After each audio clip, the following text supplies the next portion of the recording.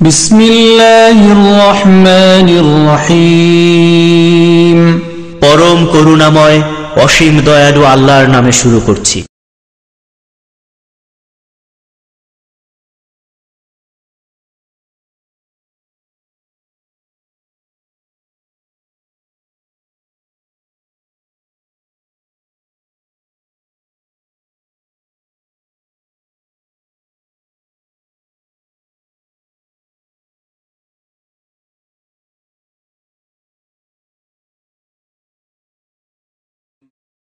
السلام علیکم ورحمۃ اللہ وبرکاتہ۔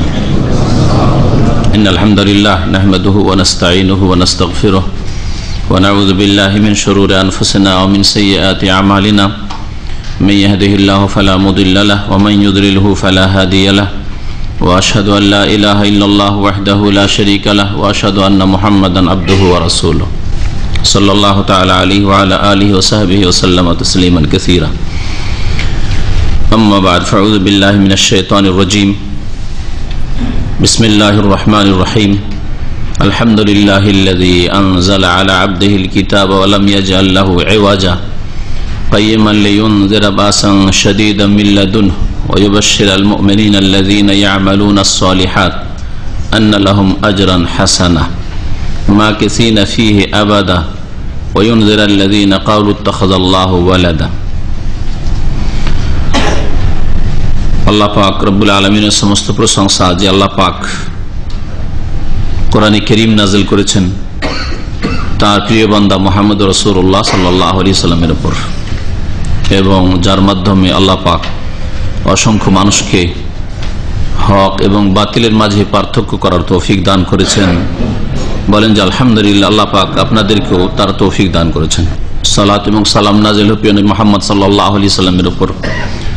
যাকে আল্লাহ পাক কোরআনী করিমের মজিজা দিয়েছেন। আল কোরআন নাজিল করে ওহের দ্বারা তাকে সম্মানিত করেছেন। আজকে তফসির আমরা শুরু করব সুরাতুল কাহাফ থেকে। এই সুরা হচ্ছে মক্কি সুরা রসুল্লাহ সাল্লা সাল্লামের মক্কার জীবনে নাজল হয়েছে। এই সুরার শানে নজুল তফসির কারগণ উল্লেখ করেছেন যা আপনাদের সামনে পেশ করব জাহাদিসে বর্ণনা করা হয়েছে বা সিরাতের কিতাবাদিতে বর্ণনা করা হয়েছে।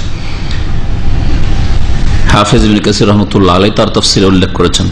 তবে সুরাই কাহাফের বেশ কিছু ফজিলত সম্পর্কে সহি হাদিস রয়েছে, সেগুলি আগে পেশ করা যাক। সুরাতুল কাহাফ, এই সুরায় কাহাফকে, সুরায় আল কাহাফ কেন বলা হয়? কাহাফ মানে হচ্ছে কি? গুহা। গার মানেও গুহা। কেউ কেউ বলেছেন দুটোই একই অর্থে। আবার অনেকে বলেছেন আল কাহাফ কাহাফ মানে বড় ধরনের গুহা, প্রশস্ত গুহা। আর যদি সুরঙ্গের মতো থাকে, সংকীর্ণ জায়গা থাকে, ছোট গুহাকে গার বলা হয়। যেমন গারে সৌর সৌর পাহাড়ের গুহা। গারে হেরা হেরা পাহাড়ের গুহা, এগুলি ছোট্ট গুহা ছিল সেই জন্য এগুলোকে গার বলা হয়েছে।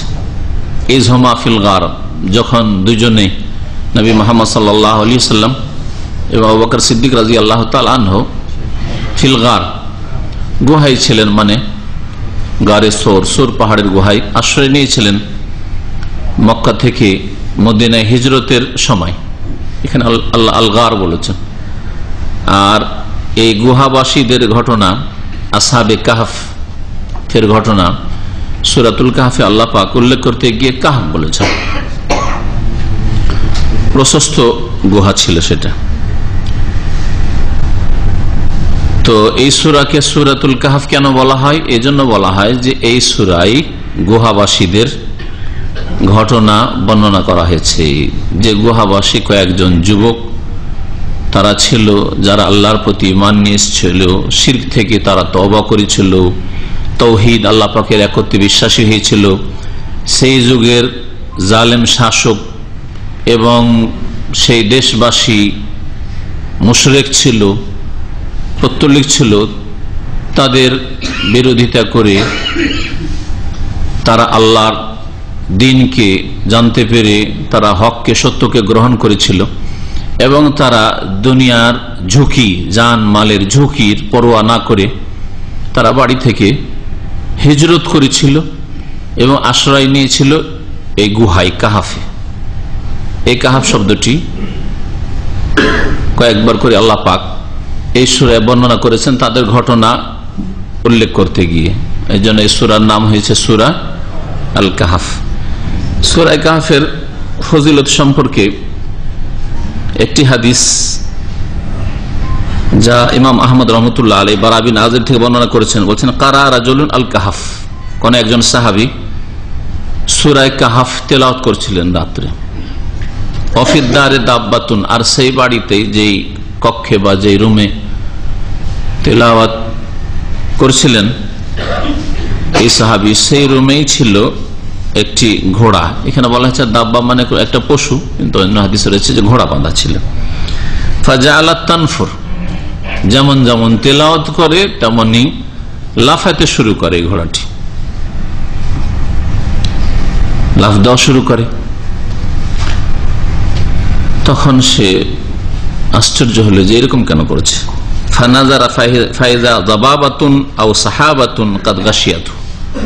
বাইরে এসে দেখছে যে ব্যাপারটা কি? দেখল যে কুয়াশা জবাব বলা হয় কুয়াশাকে। কুয়াশা অথবা মেঘমালার মতো তার বাড়িকে ঢেকে আছে কোনো কিছুতে। অথচ আকাশে মেঘ সেই সময় ছিল না। ফাজাকার আলী করিম নবী সাল্লাহ আলী সাল্লাম সেই সময় নবী করিম সাল্লাহ আলী সাল্লামের কাছে ঘুরে এসে এই ঘটনাটি উল্লেখ করলে নবী করিম সাল্লাম বলেন যে, ইকরা ফুলান, তুমি তেলাওয়াত করতে থাকো, সুরে কাহাফ এবং কোরআন করিমও।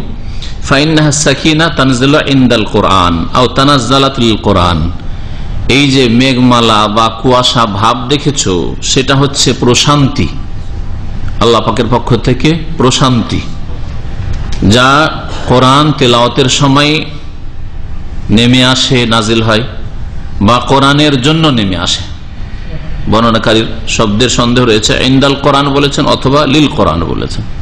কোরআন করিম যখন তেলাওয়াত হয়, বা কোরআন করিমের উদ্দেশ্যে, যেখানে কোরআন করিমের চর্চা করা হয়, কেউ পড়ে, কেউ পড়ায় কোরআন করিমের দর্শায় সেখানে প্রশান্তি নাজিল হয়। কোরআন করিমের শুধু শব্দের শব্দের তেলাওয়াত বোঝানো হয়নি।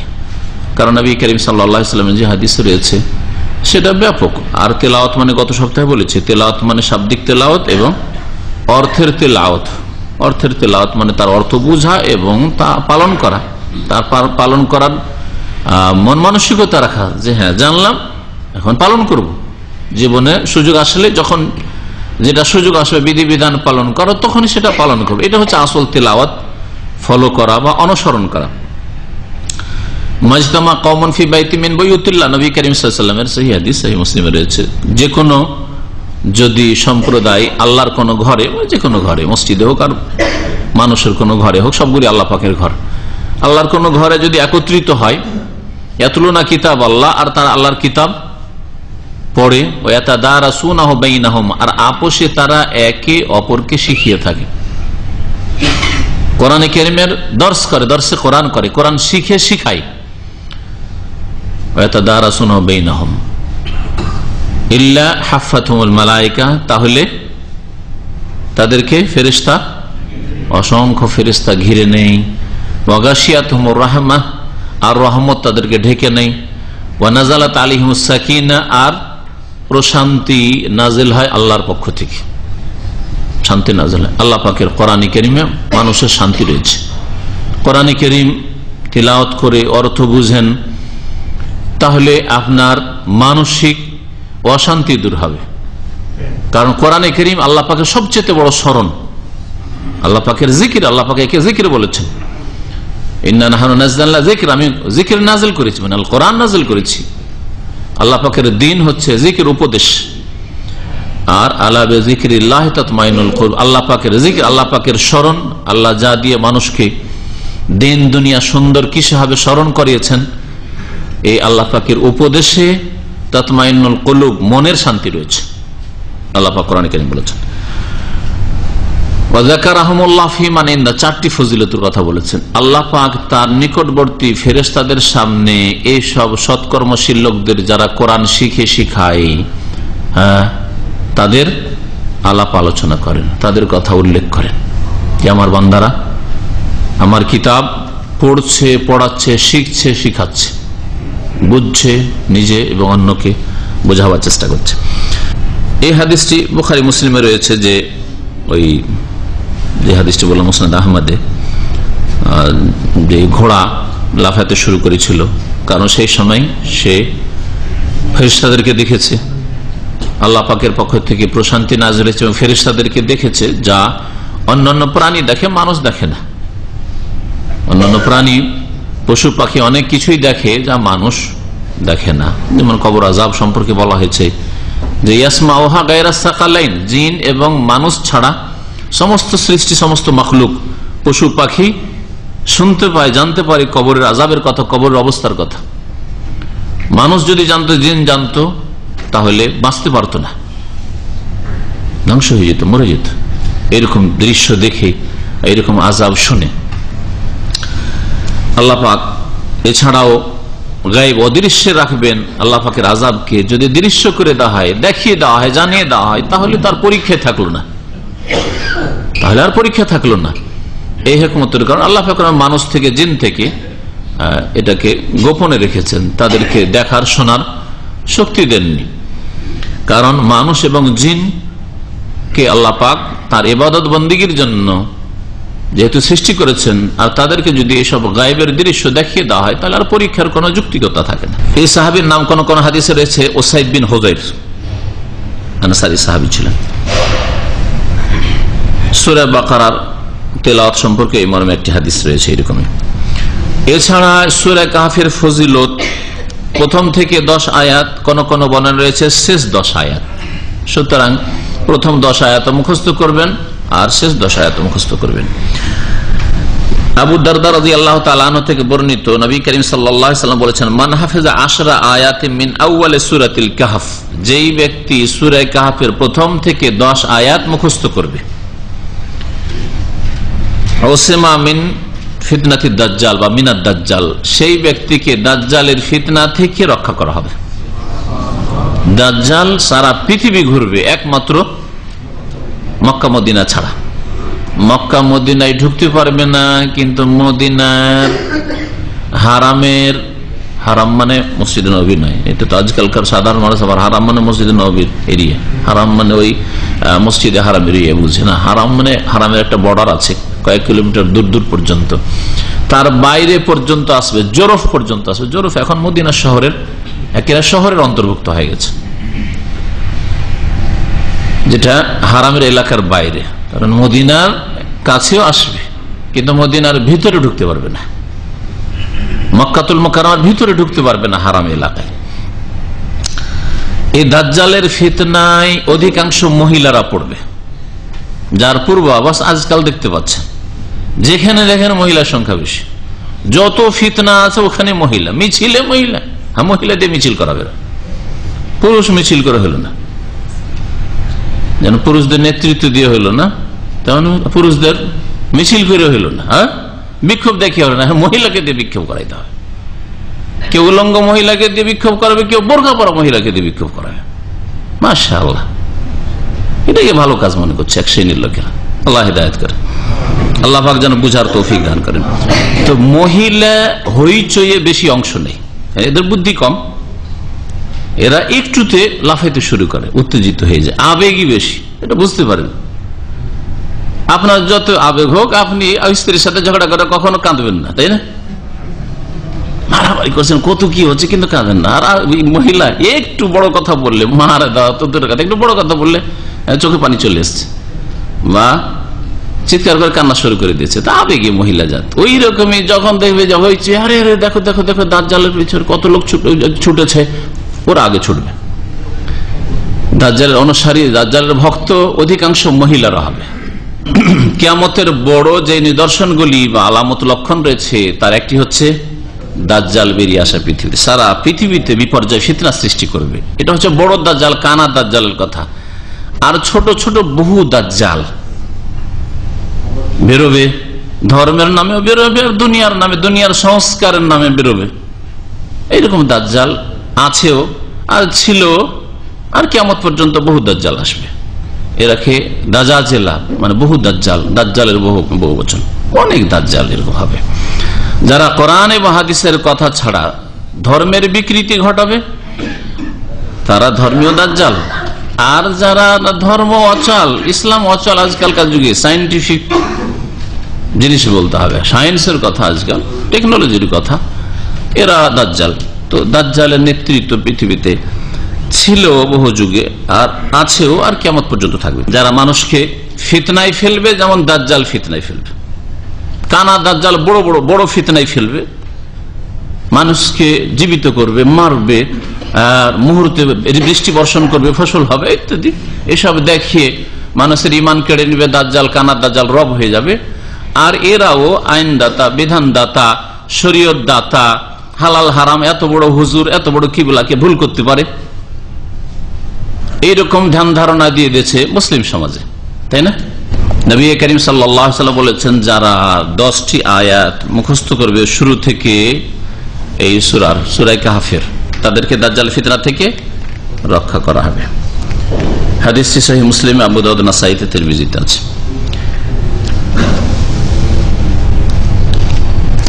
আর সুরাই কাহাফের ফজিল সম্পর্কে মুস্তাদরাক হাকেমে আবু সাইদ খুদির রাজি আল্লাহ থেকে বর্ণিত হাদিস। হাদিসটি সাহিব সেটা হচ্ছে জুমার দিনে সুরাই কাহাব পাঠ করা। যার উপর আলহামদুলিল্লাহ এই সৌদি আরবে অনেকের আমল আছে।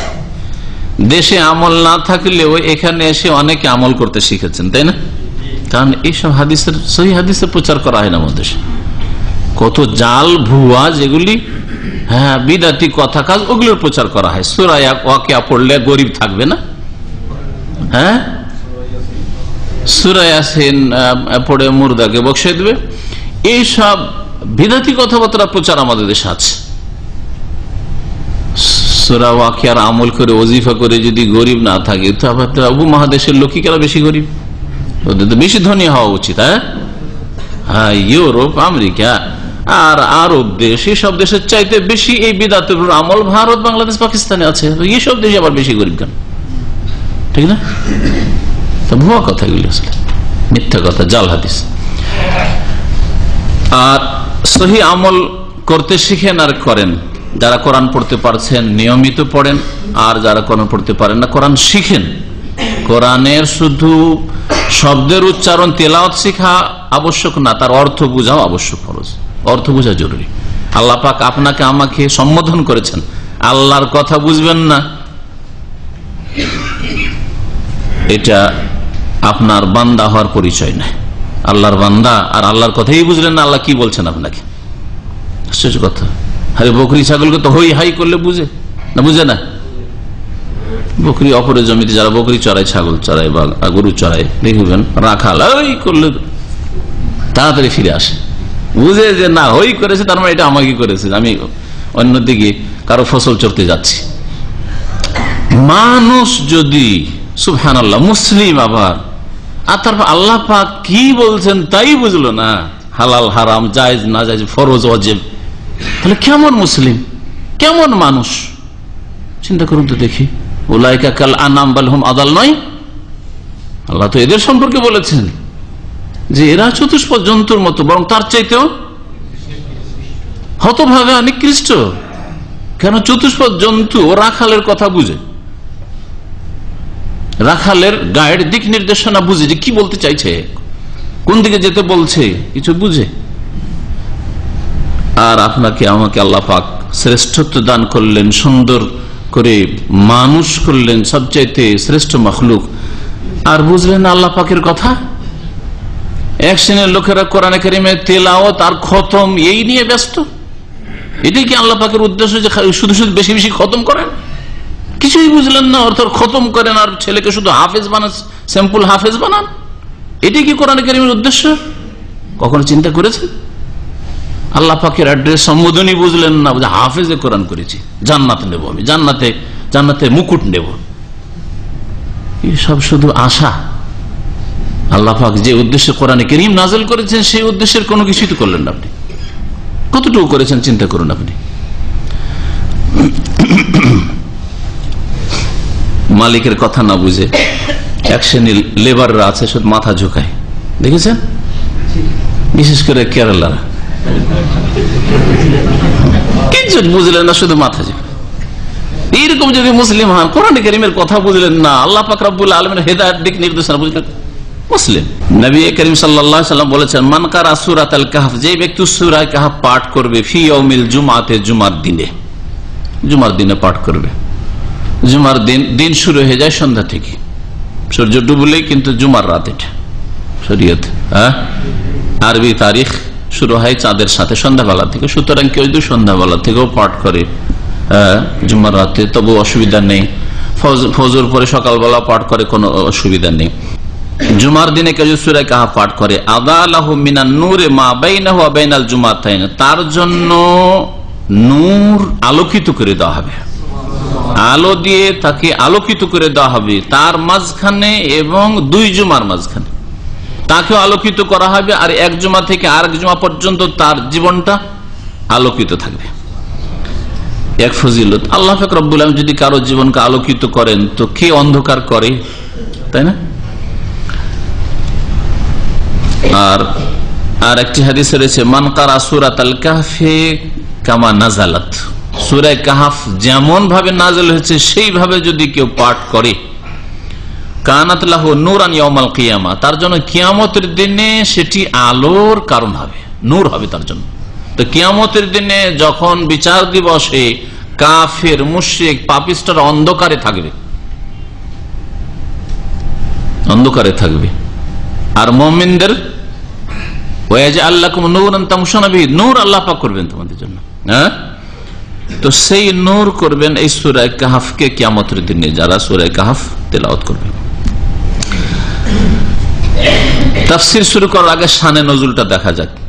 সুরায় নাজেল হওয়ার কারণ বা প্রেক্ষাপট। সুরায় কাহাফে তিনটি বিষয় রয়েছে, বিশেষ করে যেগুলি সম্পর্কে আরব মুশ্রিকরা জিজ্ঞাসা করেছিল রসুল্লাহ সাল্লাহ সাল্লামকে আটকাবার জন্য, হারিয়ে দেওয়ার জন্য, যাদের লাজবাব হয়ে যায়, কোনো জবাব না দিতে পারে। আর তারা যুক্তি করে শিখে এসেছিল, এই প্রশ্নগুলি তারা তো জানতো না আরও মুশ্রিকদের তো ওই রকমের জ্ঞান ছিল না। ওদের চাইতে বেশি ধর্মীয় জ্ঞান ছিল ইয়াহুদিদের, আহলে কিতাবদের। বিশেষ করে ইহুদিরা যে মদিনায় বসবাস করত, তো মদিনাতে দুইজন প্রতিনিধি পাঠালো মক্কার মুশ্রিকরা, যাও মদিনা গিয়ে আহলি কিতাব যারা আছে, ইহুদিরা আছে, এখানে কোরাইজা গোত্রের লোক, বানু নাজির গোত্রের লোক, আর তারপরে কাইনুকা গোত্রের লোক, এই তিনটা গোত্র ছিল ইহুদিদের প্রথম দিকে। আর তারপরে তাদের বিশ্বাসঘাতকতার কারণে, তাদের গাদ্দারির কারণে তাদেরকে নির্বাসিত করে দেওয়া হয়েছিল মদিনা থেকে। তো এদের কাছে এসে জিজ্ঞাসা করল যে, এমন কিছু শিখিয়ে দাও। যাতে করে এই মোহাম্মদকে জিজ্ঞেস করি সাল্লাহ সাল্লাম আর জবাব না দিতে পারে। জবাব না দিলে আমরা জানব যে সে নবী নাই কিন্তু জবাব দিয়ে দেওয়ার পরে কি ওই আর মুশ্রিকরা ইমান নিয়ে এসেছিল? তারা কিন্তু ইমান নিয়ে আসেনি। নাজর বিন হারেস আর ওকুয়া বিন আবি মঈদ এই দুটো প্রতিনিধি ছিল। এরা মদিনায় এসে এই প্রশ্নগুলি জেনে গেছিল ইহুদিদের কাছ থেকে। জবাব তো পেয়ে গেছিল নবীর কাছ থেকে তারপরে ইমান নিয়ে আসেনি। তাহলে বোঝা গেল যারা অসৎ লোক, পাপিষ্ট লোক, যতই বুঝিয়ে দেন তাকে, যতই তাকে জানিয়ে দেন, না, আসলে হেদায়ত তৌফিক হবে না। কারণ বাঁচতে চাই না। পাপ থেকে বাঁচার মন মানসিকতা নেই। পরকাল সম্পর্কে চিন্তাশীল নয়। অনিহা, এসব জানতে চায় না, শুনতেও চায় না, মানতেও চায় না। এইরকম লোককে আল্লাহ হিদায়ত করবেন না। মুসলিম সমাজে এইরকম ধরনের যেসব লোকেরা আছে, আল্লাহ হিদায়ত করবেন না। কারণ চেষ্টা লাগবে। বাঁচতে চায় মুত্তাকি মুত্তাকিন, আল্লাহ বলেছেন এই জন্য বাঁচতে চাইবে আল্লাহ পাকের আজাব গজব থেকে, জাহান্নামের আগুন থেকে, আল্লাহ পাকের অসন্তুষ্টি থেকে, এই মন মানসিকতা থাকলে, ভুল হইলেও তবা করবে, তাই না? এই তিনটি বিষয় ছাড়াও এই সুরাতে আরও বেশ কিছু বিষয়। আল্লাহ পাক রব্বুল আলম উল্লেখ করেছেন, সুরা বড় আছে। তিনটি বিষয় কি কি ছিল? একটু হাদিসের ভাষায় শুনে আবদুল্লাহ বিন আব্বাস আজি আল্লাহ তালা আনহমা বর্ণনা করেছেন যে, বাসাত কোরেশ এই কোরাইশরা, দেখেন কোরাইশ রসুল্লাহামের বংশ। মুশরেক আর এরা বেশি শত্রু রসুলের আলিয়াল্লাম তাহলে নিজের বংশের লোকেরাই বড় শত্রু কার? রহমতুল্লিল আলমীর যিনি বিশ্বজাহান রহমত, যিনি আসাদেক আল আমিন তাদের কাছে উপাধি পেয়েছিলেন। তাহলে আপনার শত্রুতা, আপনার আপনজন, আপনার বংশের লোকেরা, আপনার গ্রামের লোকেরা, আপনার আত্মীয়রা করবে না এ কথা ভাববেন না। আর করলে কষ্ট পাবেন না। এটা সোনাতুল আম্বিয়া। নবীদের সাথে আল্লাহ ফাকরবুল আলমিনের নীতিমালা। আপন জনরা বেশি কষ্ট দিয়েছে। যাদেরকে আপন মনে করছেন, তারা আপনার শত্রুতা করবে, আপনার আকিদার শত্রুতা করবে, আপনার দিনের শত্রুতা করবে।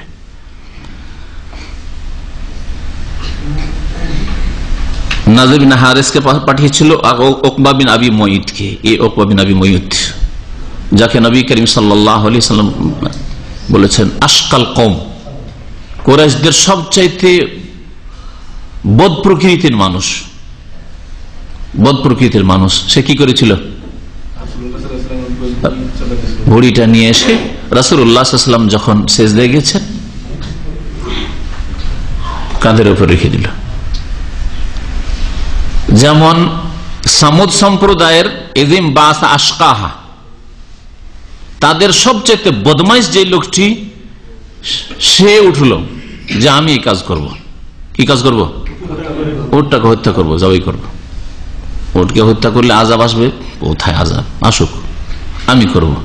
আল্লাহ এজিম বাস আশকাহা সবচেয়ে বদ প্রকৃতির মানুষ, আল্লাহ বলেছেন। আর কোরেশদের আশকাহা, ওই ব্যক্তি, যেই ব্যক্তি রসুল্লাহ সাল্লা সাল্লামের সেজদার অবস্থায় উঠে ঘুরিয়ে নিয়ে এসে চাপিয়েছিল যেন বিশ্বাস হাদিসে রয়েছে। এটা কোরআনে করিমের কথা আর এটা হচ্ছে রসুল্লাহ হাদিসের কথা।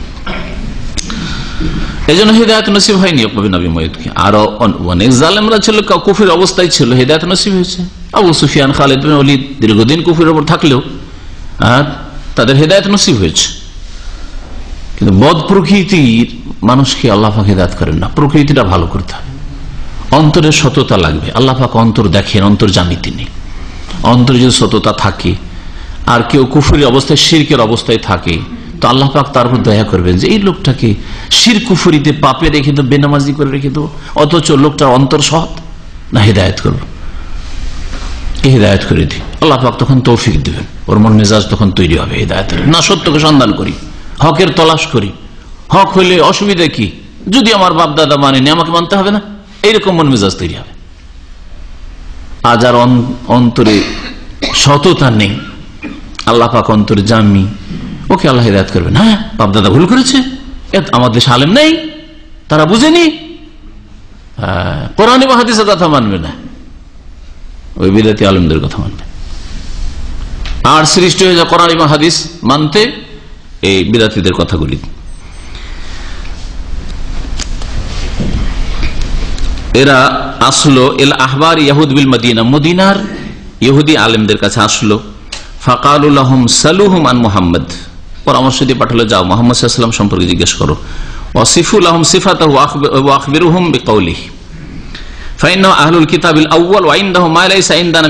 আম্বিয়া।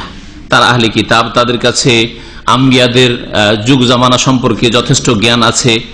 তাদের কাছে গিয়ে মোহাম্মদ সাল্লাহ সাল্লাম যে এই দাবি করেছে আর বলছে, এক আল্লাহর ইবাদত করো এইসব মূর্তি পূজা ছেড়ে দাও, এইসব কথা গিয়ে বর্ণনা করো। তারা আসলো, আসার পরে নবী সাল্লাম সম্পর্কে সব কথাবার্তা বলল আর বলল যে ইন্দাকুম আহলুত তাওরাত আপনাদের কাছে তাওরাত আছে, তাওরাতের আপনারা জ্ঞান রাখেন। যে আপনাদের কাছে এসেলে তুখ বেরুন আন সাহেবিন হাজা। আমাদের যে সাথী সঙ্গী মোহাম্মদ, এর সম্পর্কে কিছু আমাদেরকে দেন যা দিয়ে একে লাজবাব করতে পারে, একে জব্দ করতে পারে। সালাস। তিনটি বিষয় সম্পর্কে জিজ্ঞেস করো গিয়ে। মোহাম্মদ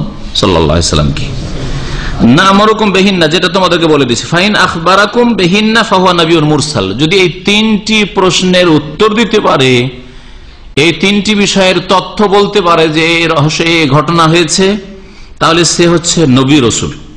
সত্যি আল্লাহর পক্ষ প্রেরিত নবী। ওয়াইল্লা আর যদি না বলতে পারে ফারাজুল মোতাকাউল তাহলে সে মন গড়া কথা বলছে।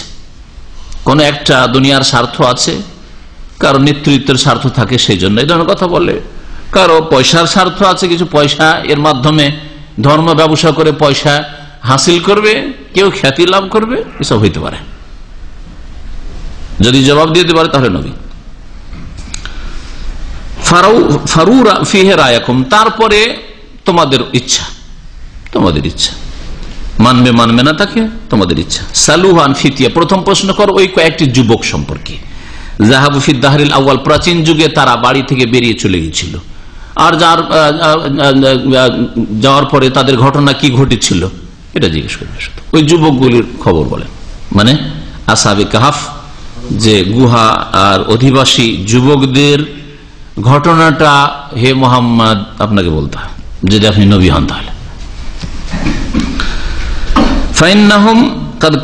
হাদিসুন তাদের বিস্ময়কর ঘটনা আছে। আর যদি নবী রসুল হয় তো অবশ্যই ঘটনা, তিনি বলতে পারবেন, কারণ তার কাছে ওই আসবে। ও সালুহ আন রাজুলিন তওয়াফ মাসারেকাল আর মাগারিবাহা। মা কানা বাহু আর তাকে গিয়ে জিজ্ঞেস করো, তোমরা এমন এক ব্যক্তি সম্পর্কে যেই ব্যক্তি তাওয়াফ সারা পৃথিবীর ভ্রমণ করেছে, সেই যুগের যে পৃথিবী যতটা ছিল, ভ্রমণ করেছে। পূর্ব থেকে পশ্চিম সে সফর করেছে, উত্তরে গিয়েছে, তিন দিকের কথা আল্লাহ পাক কোরআন কেরিমে বর্ণনা করেছেন, আসছে। সে কে? জুলকারের ঘটনা। এ সম্পর্কে ওর কি ঘটনা? আর তৃতীয় প্রশ্ন করো, রুহ সম্পর্কে। সালুহ রুহ। আত্মা সম্পর্কে জিজ্ঞাসা করো, আত্মার তত্ত্ব কি, রহস্য কি, আত্মাটা জিনিস কি? একটা লোক এখন বসেছিল, কথা বলছিল, হঠাৎ করে নেই আত্মাটা গেল কোথায়? হ্যাঁ এই সম্পর্কে জিজ্ঞেস করো। যদি তোমাদেরকে জানিয়ে দিতে পারে এই সম্পর্কে আসল রহস্য, তাহলে সে নবী তাকে মেনে নিও। আর যদি না বলতে পারে, তাহলে জানবে যে মন গড়া কথা বলছে, কখনো সে নবী নয়। আরও মুশ্রিকরা, অধিকাংশ ইমান নিয়ে আসেনি করাইশরা হ্যাঁ? তেরো বছর পর্যন্ত তো ইসলাম দ্রোহিতা করেছে, শত্রুতা করেছে। হিজরতের পরে মক্কা বিজয় হয়ে গেল, অনেকে নিরুপায়, আর অনেকে তো এতেই কল্যাণ আছে, অনেকে বুঝার চেষ্টা করল, বুঝার তৌফিক হলো। অনেকে হুড়ে গতানুগতিক ইমান নিয়ে আসলো, পরে তাদের ইমান মজবুত হয়েছে। বিশেষ করে মক্কা বিজয়ের পরে যারা মুসলিম হয়েছে, তারা বিভিন্ন ধরনের ছিল। অনেকে বিশ্বাস করি, অনেকে বিশ্বাস করি না, সবাই মুসলিম হচ্ছে, আর থাকা যাবে না হয়ে যায়। দুর্বল দুর্বল ইমান ছিল। আর তারপরে তখন ধীরে ধীরে যখন শিখলো রাসুল্লাহামের মোবারক সহবত পেল আর তখন তাদের ইমান মজবুত হল, এরকমও ছিল। এই জন্য যারা মক্কা বিজয়ের আগে ইমান কবুল করেছে, আর মক্কা বিজয়ের পরে দুটোতে অনেক পার্থক্য আছে। আল্লাহ ফকরবুল আলমিন ও সাবেকুন যারা অগ্রগামী ছিল ইসলাম কবুল করে, তাদের কথা উল্লেখ করেছে বিশেষ করে। তো এখন আর ওই লম্বা হাদিস না শুনিয়ে এরা গিয়ে নবী সাল্লাহ সাল্লামকে জিজ্ঞাসা করেছিল। নবী করিম বলেছেন, ঠিক আছে, কালকে বলে দেব। ইনশাআল্লাহ বলতে ভুলে গেছেন, এই হাদিসটাতে উল্লেখ করা হয়েছে। ভুলে গিয়েছিলেন আল্লাহ ফাকরাবুল আলমিন একটু শিক্ষা দিতে চাইলেন। পনেরো দিন পর্যন্ত অপেক্ষায় থাকলেন। আগামী, কালকে কালকে বলে গাদান। যদিও আরবি ভাষায় গাদান মানে আগামীতে হয়। আগামী কালকে একবারে জরুরি নেই। গাদান শব্দটি আগামীর জন্য ব্যবহার হয়ে থাকে। তারপরেও যখন তারা জবাব পেল না, খুব হইচই করল, খুব পূর্বাকাণ্ডা করল নবীর বিরুদ্ধে। আরে নবী কালকে বলেছে, দেখো, দশ দিন, বারো দিন হয়ে যাচ্ছে। পনেরো দিন পরে জিবর আলী ইসলাম ওহি নিয়ে আসলেন আর এই ঘটনাগুলি বর্ণনা করে সুরাই কাহাফ নাজেল হল। আর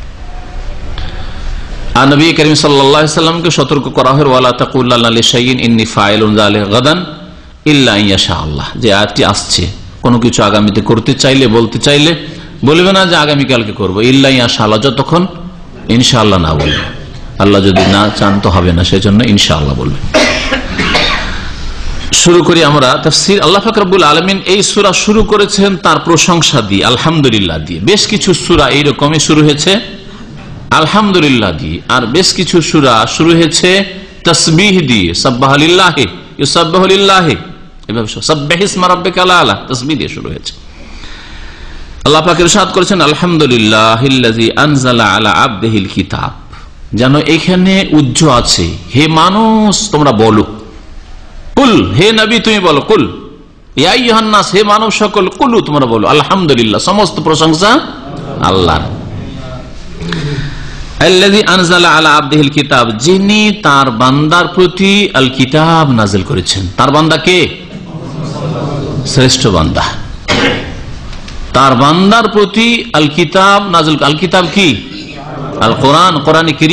করেছেন তার বান্দার প্রতি। নবীকে বান্দা বলা হয়েছে, এই দিয়ে নবী করিম সাল্লামের অবস্থান মানব জাতিকে জানিয়ে দেওয়া হয়েছে। যে নবী করিম সাল্লাহ আল্লাহ পাকের শরিক? আল্লাহ পাকের গুণ নবীর মধ্যে রয়েছে? আল্লাহ পাক আলমুল গাইব নবী আলমুল গাইব হ্যাঁ? আল্লাহ পাক সবকিছু দেখেন নাজের। আর নবী হাজের নাজের? আল্লাহ পাকের জ্ঞান সবকিছুকে সামিল। সুতরাং জ্ঞানের দিক থেকে, ক্ষমতার দিক থেকে আল্লাহ পাক হাজির। আর নবীও হাজির নাজির? এগুলো আকিদা কাদের? ইহুদিন এইসব আকিদার কথা হিন্দুরা বলে? তারা বলে? এক শ্রেণির মুসলিম, তাদের আকিদার নবী আলিমুল গাইব সবকিছুই জানেন। নবী হাজির আর আর এক শ্রেণির লোকের শুধু নবী না, আমাদের বুজরুগানের দিনও সব জানে। তাদের কিতাবে সব মজুদ আছে। এই জন্য যারা নবীকে আলমুল গায়েব হাজির নাজির বলে, তারা ওই দলটিকে বলেছে যে, আরে বাবা, তোমরা তো আমাদের চেতে বেড়ে গেছে। আমরা তো শুধু নবীকে আলমুল গায়েব বললাম। আর হাজির নাজির বলি হ্যাঁ এই বিশ্বাস করি। এই বিশ্বাসও তাদের সিরকি বিশ্বাস। আর তোমরা তোমাদের বুজরুগানের দিন যারা তোমাদের তরিকেতে, সবগুলিকে তো বলছো যে তারা গায়েব জানে হ্যাঁ তারা খবর রাখে, তারা অন্তর থেকে অন্তরে এলেম দিতে পারে, হুম? তারা ঝগড়া হচ্ছে, ঝগড়া মেটাবার জন্য ঝগড়া সম্পর্কে জানতে পারল, মরার কয়েক কয়েকশো বছর পরে চলে আসে। আসার পরে বলতে তোমরা ঝগড়া করিও না, বিবাদ করিও না। তাহলে তোমরা তো আমাদের ভাই। সত্যি ভাই না? হ্যাঁ। বুঝতে পারছেন? জি হ্যাঁ। আর তারা বলছে, আমরাই হচ্ছে সঠিক আকিদের লোক। যারা বলছে, নবী, আলেমল গায়েব আর হাজের নাজের না, আমাদের বুজুর্গানের জন্য তারাই বলছে, আমরাই বড় ইসলামের হেফাজতকারী। বুঝতে পারছেন? ইসলামের হেফাজত এইভাবে হবে? ইসলামের হেফাজত, দিনের হেফাজত করতে হলে কোরআন এবং হাদিসের ভিত্তিতে দিনের হেফাজত আল্লাহ ফাকরুল আলমিন এরশাদ করেছেন যে তার বান্দার প্রতি কিতাব নাজেল করেছেন আল্লাহ পাক। সে আল্লাহ পাকের যাবতীয় প্রশংসা। নবী করিম সাল্লাহ আল্লাহ পাকের গোলাম, দাস বান্দা। আব্দুল মানে? দাস, গোলাম, চাকর। এগুলি অর্থে আব্দ ব্যবহার হয়। আর গোলাম কখনো মনিবের মালিকের অংশীদার হয় না। তার গুণ তার মধ্যে পাওয়া যায় না। এটা হইতে পারে না। যে কোনো গুণের ক্ষেত্রে দাতা আল্লাহ পাক আর বান্দাও দাতা, এটা হইতে পারে না। তবে তিনি বান্দার সাথে সাথে আল্লাহ পাকের রসুল। আল্লাহ পাকের রাসুল। আবদহু ও রাসুল এই দুটোর দ্বারা নবী করিম সাল্লামের অবস্থান, তার মর্যাদা, যেটা আল্লাহ পাক যেখানে আল্লাহ পাকে রেখেছেন, সেটাকে স্পষ্ট করা হয়েছে। আল্লাহ পাকের বান্দা, আল্লাহ পাকের শরিক নন হ্যাঁ? আর যেমন আপনার উপর আল্লাহ পাকের এবাদত বন্দী ফরজ তেমন মোহাম্মদ রসুল্লাহামের উপর আল্লাহ পাকের এবাদত বন্দী ফরজ ছিল। তার এবাদত নামাজ, রোজা, হজ জাকাত কখনো মাফ হইল না। আর পীরপন্থীদের এক শ্রেণির এক স্তরে গেলে তখন ওরা লয় হয়ে যায়, বিলীন হয়ে যায়। হ্যাঁ? আল্লাহ বিলীন হয়ে যায় না রসুলে বিলীন হয়ে যায়। বিভিন্ন তাদের এইসব আকিদা, কুফরি আকিদা আছে, যার ফলে আর তখন নামাজ, রোজার প্রয়োজন হয় না। চিন্তা করতে পেরেছেন? এটা কি ইসলাম? যদি কারও প্রথম এবাদত বন্দী মাফ হইতো যে আর লাগবে না, তো কার হইতো? যিনি সবচেয়ে শ্রেষ্ঠ ব্যক্তি মোহাম্মদ রসুল্লাহ তার হইত। তাকে আল্লাহাক বান্দা বলেছেন, আর বান্দাকে মালিকের আদেশ নিষেধ মেনে চলতে তার সাথে সাথে আল্লাহ তাকে রাসুল করেছেন। আল্লাহর দিন সম্পর্কে জানতে হইলে তার ছাড়া অন্য কোনো মাধ্যম নেই। দিন জানার ক্ষেত্রে, শিখার ক্ষেত্রে, পালন করার ক্ষেত্রে মোহাম্মদ রসুল উল্লাহাম ছাড়া অন্য কোন সোর্সে দিন নিলে সেই দিন আল্লাহ কবুল করবেন না। এটা হচ্ছে আল্লাহ পাকের রসুল হওয়ার অর্থ মোহাম্মদ সাল্লামের তরিকা কার থাকবে তাহলে? একমাত্র মোহাম্মদ সাল্লামের তরিকা। এত তরিকত ইসলামে নেই। ভালো করে শুনে রাখেন। তরিকা একমাত্র মোহাম্মদ সাল্লা সাল্লামের তরিকা। সেই তরিকা সম্পর্কে জিজ্ঞাসা করা হবে আপনাকে।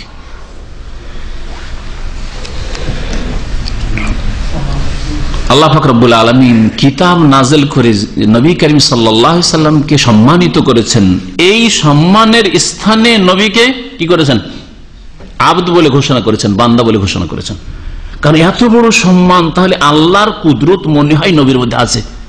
এই এই রাস্তা দিয়ে শয়তান ঢুকতে পারতো, আর ঢুকেছে ও আলমুল নাজির, আর কত কি নবী মাটির না।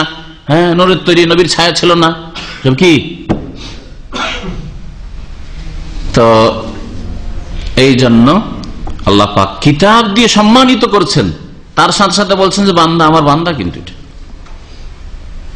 আল্লাহ ফাকরা বলে মেয়েরাজ দিয়ে সম্মানিত করছেন। শয়তান ওই রাস্তা দিয়ে ঢুকতে পারে। মেয়েরাজে যেখানে গেছেন, সাত আসমানের উপর আর কলমের আওয়াজ শুনছেন হ্যাঁ? আল্লাহ ফাকর কলমের আওয়াজ শুনছেন আকলাম সেখানে এত দূর চলে যাচ্ছেন। তাহলে তিনি আল্লাহ পাকের কুদরতের শরিক, আল্লাহ পাকের জ্ঞানের শরিক। এই রাস্তা দিয়ে শয়তান ঢুকে মানব জাতিকে মুসলিমদেরকে বিভ্রান্ত করতে পারে। সেজন্য আল্লাহ কি বলছে আল্লাহি আসরা আল্লাহ তো সে পাক পবিত্র, শরিক থেকে, অংশীদার থেকে, যিনি তার বান্দা গোলামকে নিয়ে গেছেন। এত দূর পৌঁছে দিলেও আল্লাহ পৌঁছেছেন। আল্লাহ তাকে পৌঁছিয়েছেন। আল্লাহ পাকের বান্দা তিনি। এগুলি হচ্ছে উত্তম ক্ষেত্র, সম্মানের ক্ষেত্রে, সেগুলিতে নবী করিম সাল্লামকে বান্দা বলে ঘোষণা করা হয়েছে। দোয়ার ক্ষেত্র খুব উত্তম ক্ষেত্র। দাওয়াতের ক্ষেত্রে উত্তম ক্ষেত্র। ওইসব ক্ষেত্র আল্লাহ কাম আবদুল্লাহ এখানে আল্লাহ পাকের বান্দা আবদুল্লাহ বলা হয়েছে মোহাম্মদ সাল্লাহ সাল্লামকে আল্লাহ বলছেন, ওয়ালাম ইয়াজা আল্লাহ এওয়াজা। আর কোরআনে কেরিমে এই কিতাবে কোন রকমের বক্রতা আল্লাহ রাখেননি। কোরআনে কেরিমে আল্লাহ পাক জটিল রাখেননি। প্রথম অর্থটি করলাম শাব্দিক অর্থ। আমি যখনই তফসির করি, আমার এটা তরিকা। আর যারা নিয়মিত শুনছেন বা শুনবেন, মনে রাখবেন। প্রথম যে তর্জমাটা করি, সেটা শাব্দিক অর্থ করার চেষ্টা করি, যাতে আরবি ভাষার সাথে আপনার সম্পর্ক আর সহজভাবে বুঝে উঠতে পারেন। আর দ্বিতীয়, তৃতীয় যখন তর্জমা প্রতি শব্দ বলি, সেগুলি একটু দূরের ভাব অর্থ তখন করি, যাতে করে বেশি করে স্পষ্ট বুঝতে পারেন। অনেক সময় শাব্দিক অর্থ দিয়ে স্পষ্ট বোঝা যায় না, কিন্তু শাব্দিক অর্থ জানাও জরুরি। এওয়াজ মানে হচ্ছে আইন, ওয়াও, জিম মানে হচ্ছে বাঁকা হওয়া। হ্যাঁ? যে বাঁকা হাড় থেকে নারীদের পয়দা করা হয়েছে, তো ওখানে আওয়াজ শব্দটি এসছে। আর বাঁকা হওয়া, বাঁকা জিনিস কঠিন সেই জন্য জটিলতার অর্থ করলাম। হ্যাঁ? কোরআনে করিম আল্লাহ কোনো জটিলতা রাখেননি। কোরআন তাহলে কি? সহজ, জটিলতার বিপরীতে সহজ। কত সুন্দর নিঃসন্দেহে কোরআনে আমি সহজ করেছি সহজ করেছি আমি আল্লাহ। আল আল লিজিকির কিসের জন্য? উপদেশ নেওয়ার জন্য মানব জাতির, মানব জাতি ইচ্ছা করলে যে কোনো ভাষাভাষী হোক না কেন, কোরআন থেকে সহজে উপদেশ নিতে পারে। তারপরেও যদি কেউ বলে যে কোরআন আল্লাহর কালাম, বুঝা কি চারটি কথা? যেমন তেমন কথা। তিন হরফ পড়ি কোরআন বুঝবে, কোরআন বুঝেছে অমুক অমুকরা বুঝব কেন তিন ওরা পড়ব আল্লাহ মারা কোরআন বুঝতে তুমি কি বুঝো? সুতরাং কোরআন বোঝার চেষ্টা করে লাভ নেই। কোরআন বোঝা গেল না, রসুলের হাদিস, যেমন তোর কথা নাকি রসুলের হাদিস বুঝবে, হাদিস কোনটা কি আছে না কি বুঝবে তুমি? হ্যাঁ নাসক মনসুক ইত্যাদি আছে, কি বুঝবে তুমি? তাহলে কোরআনও বুঝতে পারলে না, হাদিসও বুঝতে পারলে না ওই জাতি। যেই জাতিকে এইভাবে মিসগাইড করা হবে, কোরআনও বুঝলো না হাদিসে বলল বুঝবে কি? বলছে ফিকার কথা বুঝবে। মানুষের কথা বুঝতে পারছে, আর আল্লাহর কথা বুঝতে কঠিন লাগছে, আর রসুলের কথা নাকি বুঝতে কঠিন লাগছে। সুহান আল্লাহ কেমন বেয়াদবি কথা, এগুলো বেয়াদবি না? যে যত বেশি ভালো করে বুঝাইতে পারে, তার কথা তত সহজে বোঝা যায়। ঠিক কিনা? সবচেয়ে ভালো আল্লাহ পাক বুঝিয়েছেন। আর তারপর সবচেয়ে ভালো করে রসুল্লাহ বুঝিয়েছেন। কোরআন বুঝতে কষ্ট লাগে হাদিস বুঝতে কষ্ট লাগে। আর আপনি ফেকার কেতাব, মানুষের লেখা কেতাব বুঝে নেবেন? মানুষের মতামত গুলি খুব সহজে বুঝে নেবেন? তাতে বিরোধ নেই? ফেকার কেতাব বিরোধ নেই? পরস্পর বিরোধী কত কথা আছে? তারপরে নিজের বক্তব্য, মন্তব্য আছে। সেটা কোরআন এবং হাদিস ওহি বিরোধী হইতে পারে না, নিজের বক্তব্য পেশ করতে গিয়ে। তাহলে সেটা সহজে বুঝে নেবেন। আর ভারত উপমহাদেশে এক যুগে এত অন্ধকারে ছিল, এখন অন্ধকারে আছে অধিকাংশ মানুষ। আর একটা যুগে এত বেশি অন্ধকারে ছিল যে আল্লামা শাহ আলী আলিউল্লাহ মহাদেশ দেহলবি প্রথম ভারত উপমহাদেশে মোগল আমলে কোরআনে করিমের ফার্সিতে তর্জমা করলেন। ফার্সি তর্জমা আমি, ওই প্রাচীন যুগের তর্জমা দেখেছি। যখন অনুবাদ করলেন শাহ আলিউল্লাহ সাহেব, রহমতুল্লাহ আলাই তখন যত বিদাতি সুফি ওলামারা ছিল, বিদাতপন্থী ওলামাসু তারা এই তাকফিরি ফতুয়া দিল শাহ আলিউল্লাহ কাফের হয়ে গেছে। কারণ সে কোরআনকে বিকৃত করেছে। কোরআন আরবিতে থাকবে আর আমরা পাঠ করব তেলাওত করব। কোরআনকে ফার্সিতে নিয়ে এসছে মানে বিকৃত করে দিচ্ছে আর বিকৃতি, কুফরি কাজ সেই জন্য শাহুল্লাহ কাফের হয়েছে এই ফতুয়া সেই যুগে লেগেছিল। এত বড় মহাদ্দিস আর মুফাসের এর উপরে যদি কুফুরির ফতুয়া লাগে, তো কোরআন হাদিসের কথা বললেই কুফুরির ফতুয়া লেবেল লাগাইতে পারে বিদাতপন্থীরা। এটা কোনো নতুন কথা নাই। এবং তাকে মেরে দেওয়ার জন্য চেষ্টা করা হয়েছে, আল্লাহ পাক তাকে বাঁচিয়েছে। তার জীবনীতে এইসব ঘটনা উল্লেখ করা হয়েছে। যাই হোক, ওদিকে যাচ্ছে না তফসির দিকে ফিরে আসি। আল্লাহ পাক বলছেন, কোরআনে কেরিমে কোনো জটিলতা নেই। কোরআনে কেরিম খুব সহজ। কোরআন বোঝার চেষ্টা করে। খুব সহজ। আকিমুসাল্লাহ বুঝছেন হ্যাঁ? না, কোনো কিছু বুঝছেন না? আল্লাহ। আমি নবী বলছি গায়েব আমি যদি গায়েব জানতাম, তো লাস্তাকসার আল অনেক কল্যাণ আমি হাসিল করতে পারতাম। অমামাস্তানীয় সু। আর কখনো কষ্ট পৌঁছিত না যেতামই না কষ্টের জায়গায়। এই কথাগুলি বুঝে আসে না? কত সুন্দর কথা, স্পষ্ট কথা। কোরআন কত সহজ? কাইয়েমান আল্লাহ বলছেন, কোরআন হচ্ছে সুপ্রতিষ্ঠিত সোজা কামা থেকে কাইয়েম কাইয়েমান মানে সুপ্রতিষ্ঠিত কোরআন, সোজা আল্লাহ পাকের বিধান কোরআনে করিম, সোজা হ্যাঁ সুপ্রতিষ্ঠিত। আর কোরআনে করিম যারা ধারণ করে, বহন করে, আমল করে, বিশ্বাস করে, তাদেরকে সোজা পথে চালিত করে। জি, এ হচ্ছে কাইয়েমানের অর্থ। যাতে করে আল্লাহ পাক সতর্ক করেন বাসান শদীদ, কঠোর শাস্তি থেকে। বাস মানে আজাব বাস মানে যুদ্ধ হয়, বাস মানে আজাব হয়। মানে কঠোর। শক্ত আজাব কঠোর আজাব থেকে শাস্তি থেকে আল্লাহ পাক যাতে সতর্ক করেন মিল্লাদন, তার পক্ষ থেকে। মানে তার পক্ষ থেকে আগত আজাব আজাব আসবে যদি আমার এই কোরআনী বিধান পালন না করো। তাহলে সতর্ক করা হলো যারা অসাবধান তাদেরকে। অসাবধান যদি কেউ থাকে, সতর্ক করতে হয়, তাই না?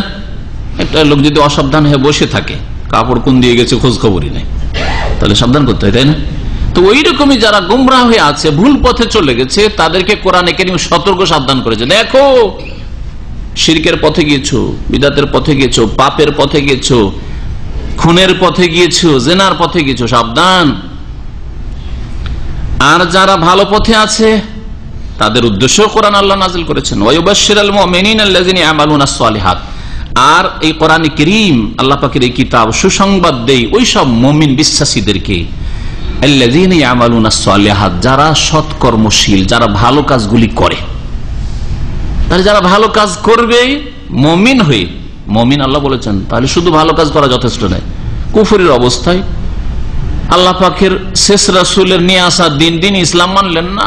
অন্য ধর্মের ওপর বলছে যে ওরাও তো ভালো কাজ করছে। না, মমিন আল্লাহর প্রতি ইমান রসুলের প্রতি ইমান কোরআনে করিমের প্রতি ইমান এইসব ইমানের সাথে সাথে ইমানের যে ছয়টি স্তম্ভ রয়েছে, এগুলির সাথে সৎকর্মশীল।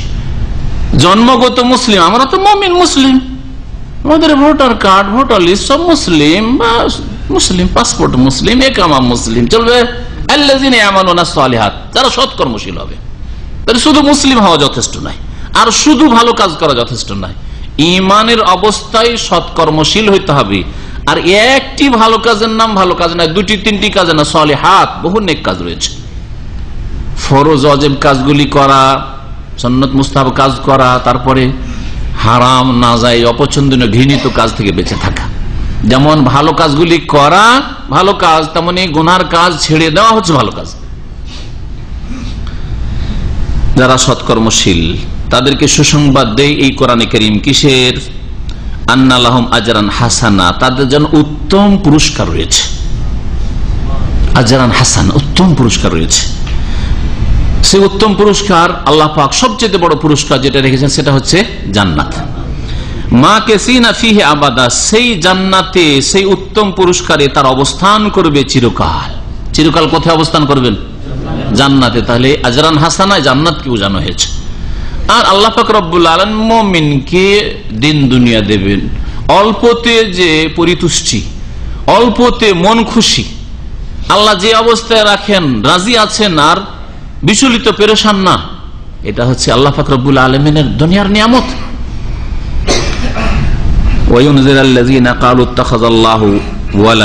আর যাতে করে আল্লাহ পাক সতর্ক করেন বা কোরআন সতর্ক করে, ওই সব লোকদেরকে যারা বাতিল কথা বলে, কি বলে? কালুদা ইত্তাখাদ আল্লাহ আলাদা আল্লাহ পাক সন্তান গ্রহণ করেছেন।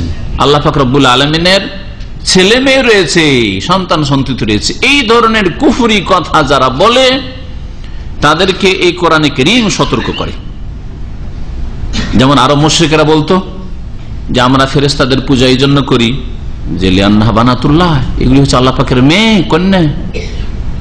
আর ইয়াহুদিরা বলতো, ওজার আল্লাহর পুত্র। খ্রিস্টানরা বলতো, এর এখনও বলে যে, ঈসা আলি সালাম সান অফ গড আল্লাহ পাকের পুত্র। তাদেরকে কোরআনে করিম সতর্ক করার জন্য এসছে যে, তোমাদের গাড়ির চাকা নেমে গেছে রাস্তা থেকে। অ্যাক্সিডেন্ট হবে, দুর্ঘটনা হবে জাহান নামে যাবে এই অবস্থায়। গাড়ি উঠাও। রাস্তার উপর আর সেই রাস্তা হচ্ছে ইন্দিন আইন্দ আল্লাহ ইসলাম, আল্লাহ পাকের জীবন বিধান হচ্ছে ইসলাম, ইসলামে তোমাদের গাড়ি নিয়ে আসো। চলে আসো সবাই। তৌহিদের উপর চলে এসো। যে সম্পর্কে না তাদের কোনো জ্ঞান আছে, না তাদের পূর্বপুরুষদের জ্ঞান ছিল। তারা কপল কল্পিত কথা বলতো যে আল্লাহ পাকের সন্তান আছে। এই সম্পর্কে না তাদের কাছে কোনো জ্ঞান আছে মানে আল্লাহ প্রদত্ত জ্ঞান আছে। মানুষের বানানো জ্ঞান তো জ্ঞান নাই আল্লাহ প্রদত্ত, আল্লাহ এইরকম জ্ঞান কোন দিনে, কোন কিতাবে নাজেল করেননি যে আল্লাহরও ছেলে মেয়ে হয়ে থাকে। এই জন্য আল্লাহ বলছেন, না, তাদের কোনো জ্ঞান আছে সম্পর্কে, না তাদের পূর্বপুরুষদের কোনো জ্ঞান ছিল? কাবরাত কালিমাতান তাখরজমিন আফাহিম এটা খুব বড় কথা। মারাত্মক কথা তাদের মুখ থেকে বেরিয়েছে তাখরজমিন আফাহিম তাদের মুখ থেকে মারাত্মক কথা বেরিয়ে থাকে। কি মারাত্মক কথা? যে আল্লাহ পাকের সন্তান রয়েছে, ছেলে মেয়ে রয়েছে। কেন? সন্তান থাকা মানে সন্তান ভাগিদার। তার মানে আল্লাহর শরিক রয়েছে। আল্লাহর শরিক রয়েছে। আওলাদের রসুল হলেই যখন কবরগুলি পাকা হয়ে পূজা শুরু হয়ে যায়, তো আল্লাহর আওলাদ যদি কেউ করে দেয়, তাহলে কি আর শির্ক মুক্ত থাকতে পারবে? থাকতে পারবে। চিন্তা করেন বিষয়টা। আওলাদের রসুল মানে কবর মাজার পূজা, ঠিক নয় আজকালকার জামানে ভারত উপমহাদেশে। রসুলের বংশ মানে কবর মাজার পূজা আওলাদের রসুলের নাম নিয়ে পীর ব্যবসা আর মাজার ব্যবসা নিয়ে বসে আছে। তো রসুলের আওলাদ বলতে গিয়ে যদি, অথচ রসুল্লাহামের বংশধর, আর যারা কোরআন হাদিসের পথে রয়েছে, তারা নবিসামের তরিকে আছে। আর তাদের হক রয়েছে আমাদের ওপর তাদের শ্রদ্ধা, ইজ্জত করা, এবং তাদের যে হক হতে পারে সেই হক দেওয়া ইত্যাদি রয়েছে। কিন্তু কোরআনে ও হাদিসের পথে যদি তারা থাকে আর রসুলের বংশের নাম দিয়ে বংশের কোন সনদ আছে কিনা আল্লাহ পাক তাদের কাছে জানে। আর যদি সনদ থাকেও তাদের কাছে বংশ পরম্পরার, যে হ্যাঁ আমাদের কাছে সিলসিলা নাসাব লিখিত আছে আর আছে আমাদের কাছে, এর প্রুফ তারপরেও যদি আমল বিপরীত দিকে যায়, তো নবীর বংশ কাজে আসবে না। আপনারা ভালো করে নবীর দুই চাচা, আল্লাহর ওলি, হামজা আর আব্বাস, সাহাবি। আর নবীর দুই চাচা, আপন দুই চাচা এগুলো হ্যাঁ? আবুল আহাব আর আবু তালেব শৈতানের ওলি। তাহলে আওলাদের রসুল হক কাজে আসবে? বিনা ইমান আমলে? সিরকের অবস্থায়? না, কখন আসবে না। যদি বলেন না, আমল তো আছে। তা আমল তো আরও আবু তালেব আমল ছিল না। নবী করিম সাল্লা সাল্লামের যে সাহায্য সহযোগিতা করেছেন আবু তালেব, আপনার আমার তৌফিক হয়নি। কিন্তু ইমান বিহীন ছিল, সেজন্য কোনো কাজে আসবে না। আজাবটা হালকা হবে, কিন্তু জাহান নামের চিরকাল থাকবে। আর জাহান নামের স্যান্ডেল দিয়ে দেওয়া হবে আর যাতে মাথার মগজ খুলি টকবক করে ফুটতে থাকবে। নবী সহিদিস নাই সহি মুসলিম? চিন্তা করুন তো দেখি। আর আর এক চাচা আবুল্লাহ বড় দুশ্মন যেহেতু ছিল সহযোগিতাও করেনি আর ইমানও নিয়ে আসেনি কারণ আমলও ভালো ছিল না আর ইমানও ছিল না। যার ফলে আল্লাহ পাকের আরও বড় শাস্তি তার জন্য রয়েছে। কেমত পর্যন্ত আল্লাহ পাক এই কোরআন করিমের আয়াত তেলাওয়াত করাচ্ছেন। হ্যাঁ মমিন বান্দাদেরকে দিয়ে ধ্বংসের অভিশাপ হইতেই আছে আবুল হাবের উপর, আবুল হাবের উপর তার বিবির উপর। অমরাত হাম্মালাত নবী করিম জন্য বলেছেন, মান আবতা বিহি আমালুহু লাম ইউসরে বিহি নাসাবুহু। যার আমল তাকে পেছনে ফেলে দেবে, তার বংশ তাকে কখনো এগিয়ে দিতে অগ্রগামী করতে পারবে না। আমার, আপনার আমল যদি খারাপ হয়, তা আমি যতই বড় শেখের আর আল্লামার আর হুজুরের বংশ হই কিচ্ছু কাজ আসবে। না। নবীর বংশ হোক আর আর কিছু হোক, ইব্রাহিম খলিলুল্লাহর বংশ। কোরেশা কি ইব্রাহিম আলী বংশ না? ইসমাইল, যে আল্লাহ রাস্তায় নিজেকে জবাই করার জন্য প্রস্তুত, আল্লাহ যদি না বাঁচাতেন তাহলে কুরবানি দিয়ে, তাহলে তিনি জবি, আসলে জবি, তিনি জবাই। আল্লাহ পাকের রাস্তা জানকে কুরবান করছে, তার বংশ না? কাজে এসছে? কাজে আসেনি ইমান এবং আমলবিহীন জীবন পাশবিক জীবন। জি। পশুর চাইতে নিকৃষ্ট জীবন। আল্লাহ পাক রব্বুল আলমিন বলছেন যে, তাদের মুখ দিয়ে খুব মারাত্মক কথা বেরোয়। বড়ই অপরাধের কথা বেরোয়। তারা একমাত্র মিথ্যা কথা বলে। তারা মিথ্যা কথা ছাড়া আর কিছু বলে না। ধর্মের নামে মিথ্যা কথা। সবচেয়ে বড় অপরাধ ধর্মের নামে মিথ্যা কথা বলা কিন্তু। এক হচ্ছে ধর্মের নামে দুনিয়ার নামে মিথ্যা কথা বলছে। তো মানুষ যারা বিবেকবান জ্ঞান বুদ্ধি আছে তারা বুঝতে পারছে যে এরা ধর্ম ব্যবসায়ী না ধর্মের কথা বলছে না। এরা দুনিয়ার পেট পূজারী এরা। এদের পেটের চিন্তা গদির চিন্তা হ্যাঁ, খ্যাতির চিন্তা পয়সার চিন্তা এইসব। কিন্তু যারা ধর্ম ব্যবসা করছে তাদের সম্পর্কে অনেকে ধোকা খেয়ে যাচ্ছে। ধর্ম কিন্তু আসল ধর্ম নয়। ধর্ম কিন্তু বাতিল। কোরআন এবং হাদিস ভিত্তিক নয়। তাহলে এখানে অনেক মানুষ ধোকা খেয়ে পথভ্রষ্ট হচ্ছে। ফাদাল্লু আদালু, নিজেরাও পথভ্রষ্ট, আর অন্যদেরকেও পথভ্রষ্ট করছে। আল্লাহ পাকর বলে তারপরে নবী করিম সাল্লাহ সান্ত্বনা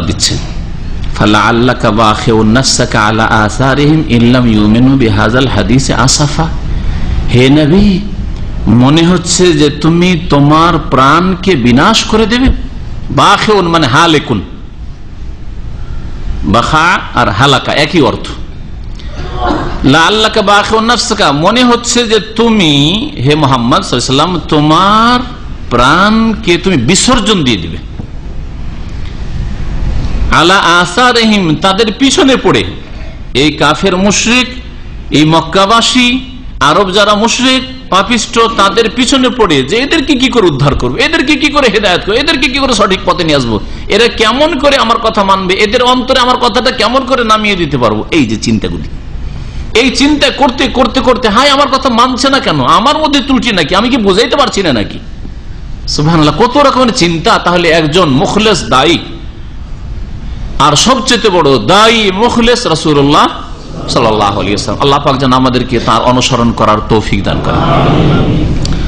আকিদার ক্ষেত্রে ইমানের ক্ষেত্রে, আমলের ক্ষেত্রে, দাওয়াতের ক্ষেত্রে আল্লাহ পাক যেন নবী করিম সাল্লাহ সাল্লামের ইত্তেবা করার তৌফিক দান করেন। নবী করিম সাল্লামের মনে তাহলে কত দরদ থাকতো, ব্যথা। যে লোকগুলো জাহান্নামে চলে যায়, মরে গেলে? না না না, যেতে দেবো না। কি করে পারব? এইভাবে বুঝালাম হইল না, তো আরেকভাবে বুঝিয়ে দেখি। এই সময় গিয়েছিলাম, হইল না, ব্যস্ত ছিল, কথা শুনতে চান না। দেখি একটু ফ্রি সময় গিয়ে দেখি। এইখানে হয়নি তো, দেখি ওইখানে গিয়ে দেখি। এইভাবে নবী করিম সাল্লা সাল্লাম তাদেরকে এই জাহান নামের রাস্তা থেকে উদ্ধার করার জন্য আপ্রাণ চেষ্টা করেছেন। আল্লাহ বলছেন, তাদের পিছনে পড়ে তুমি নিজের প্রাণকে বিসর্জন করে দেবে। ইনলাম ইউমেনু হাদিস আসাফা। যদি এরা এই হাদিস, এই বাণীর প্রতি ইমান না নিয়ে আসে, আসাফান আক্ষেপ করতে করতে এই আসাফানের সম্পর্ক আছে বাখে ও সাথে। আসাফা যেন হে মনে হচ্ছে যে তুমি তোমার প্রাণকে বিসর্জন দিয়ে দিবে, তুমি নিজেকে ধ্বংস করে ফেলবে, তাদের পিছনে পড়ে আক্ষেপ করে যে এরা এই কিতাবের প্রতি, এই বাণীর প্রতি কেন ইমান নিয়ে আসে না। তাহলে কি বললেন? বললেন। হাদিস মানে হচ্ছে বাণী হচ্ছে বাণী। আর বাণী, সেই জন্য এটাও আর যা করেছেন, যা বলেছেন এবং তার সামনে সাহাবিরা করেছেন, তিনি অনুমোদন দিয়েছেন, চুপ থেকেছেন, সমর্থন দিয়েছেন। এই সবগুলি হচ্ছে হাদিস, এগুলিও হাদিস। সুতরাং কোরআন এবং হাদিসের অনসারী যদি পরি- পরি- পরিচয়ের জন্য এতগুলি ফিতনার মধ্যে, এতগুলি দল উপদলের মধ্যে, এতগুলি বিভ্রান্তির মধ্যে পরিচয়ের জন্য যদি নিজেকে বলে, তো এটা দোষণীয় নয়। যেমন নবী করিম সাল্লামের সাহাবাই কেরামদের আমলেই সেই মুসলিমের ভূমিকা তো রয়েছে। এক শ্রেণির আলেমদেরকে বিশেষ করে আমি বলছি যে তারা যেন এই জিনিসগুলি দেখে আর এর নাম নিয়ে বাড়াবাড়ি না করে। কারণ সাহাবাই কেরামরা মুসলিম থাকার সাথে সাথে যখন দেখলেন যে একটু করে এখন বিদাত শুরু হয়েছে, অসংখ্য সাহাবাই কেরাম তখন বেঁচে ছিলেন। নবী করিম সাল্লামের এন্তেকালের পরে খোলাফার আশেদানের যুগে এখনও বাকি আছে। উসমান রাজি আল্লাহ তালার যুগে, আলী রাজি আল্লাহ তালানোর যুগে, এই যুগগুলিতে উসমান রাজি আল্লাহ তালার যুগে ফিতনা শুরু হলো আর উসমান রাজি আল্লাহ তাকে শহীদ করল। আলী রাজি আল্লাহ তালার জমানে ফিতনা শুরু হইল অতিরঞ্জন বাড়াবাড়ির। আলী রাজি আল্লাহ তালান সম্পর্কে একদল বাড়াবাড়ি করে গুমরা হইল।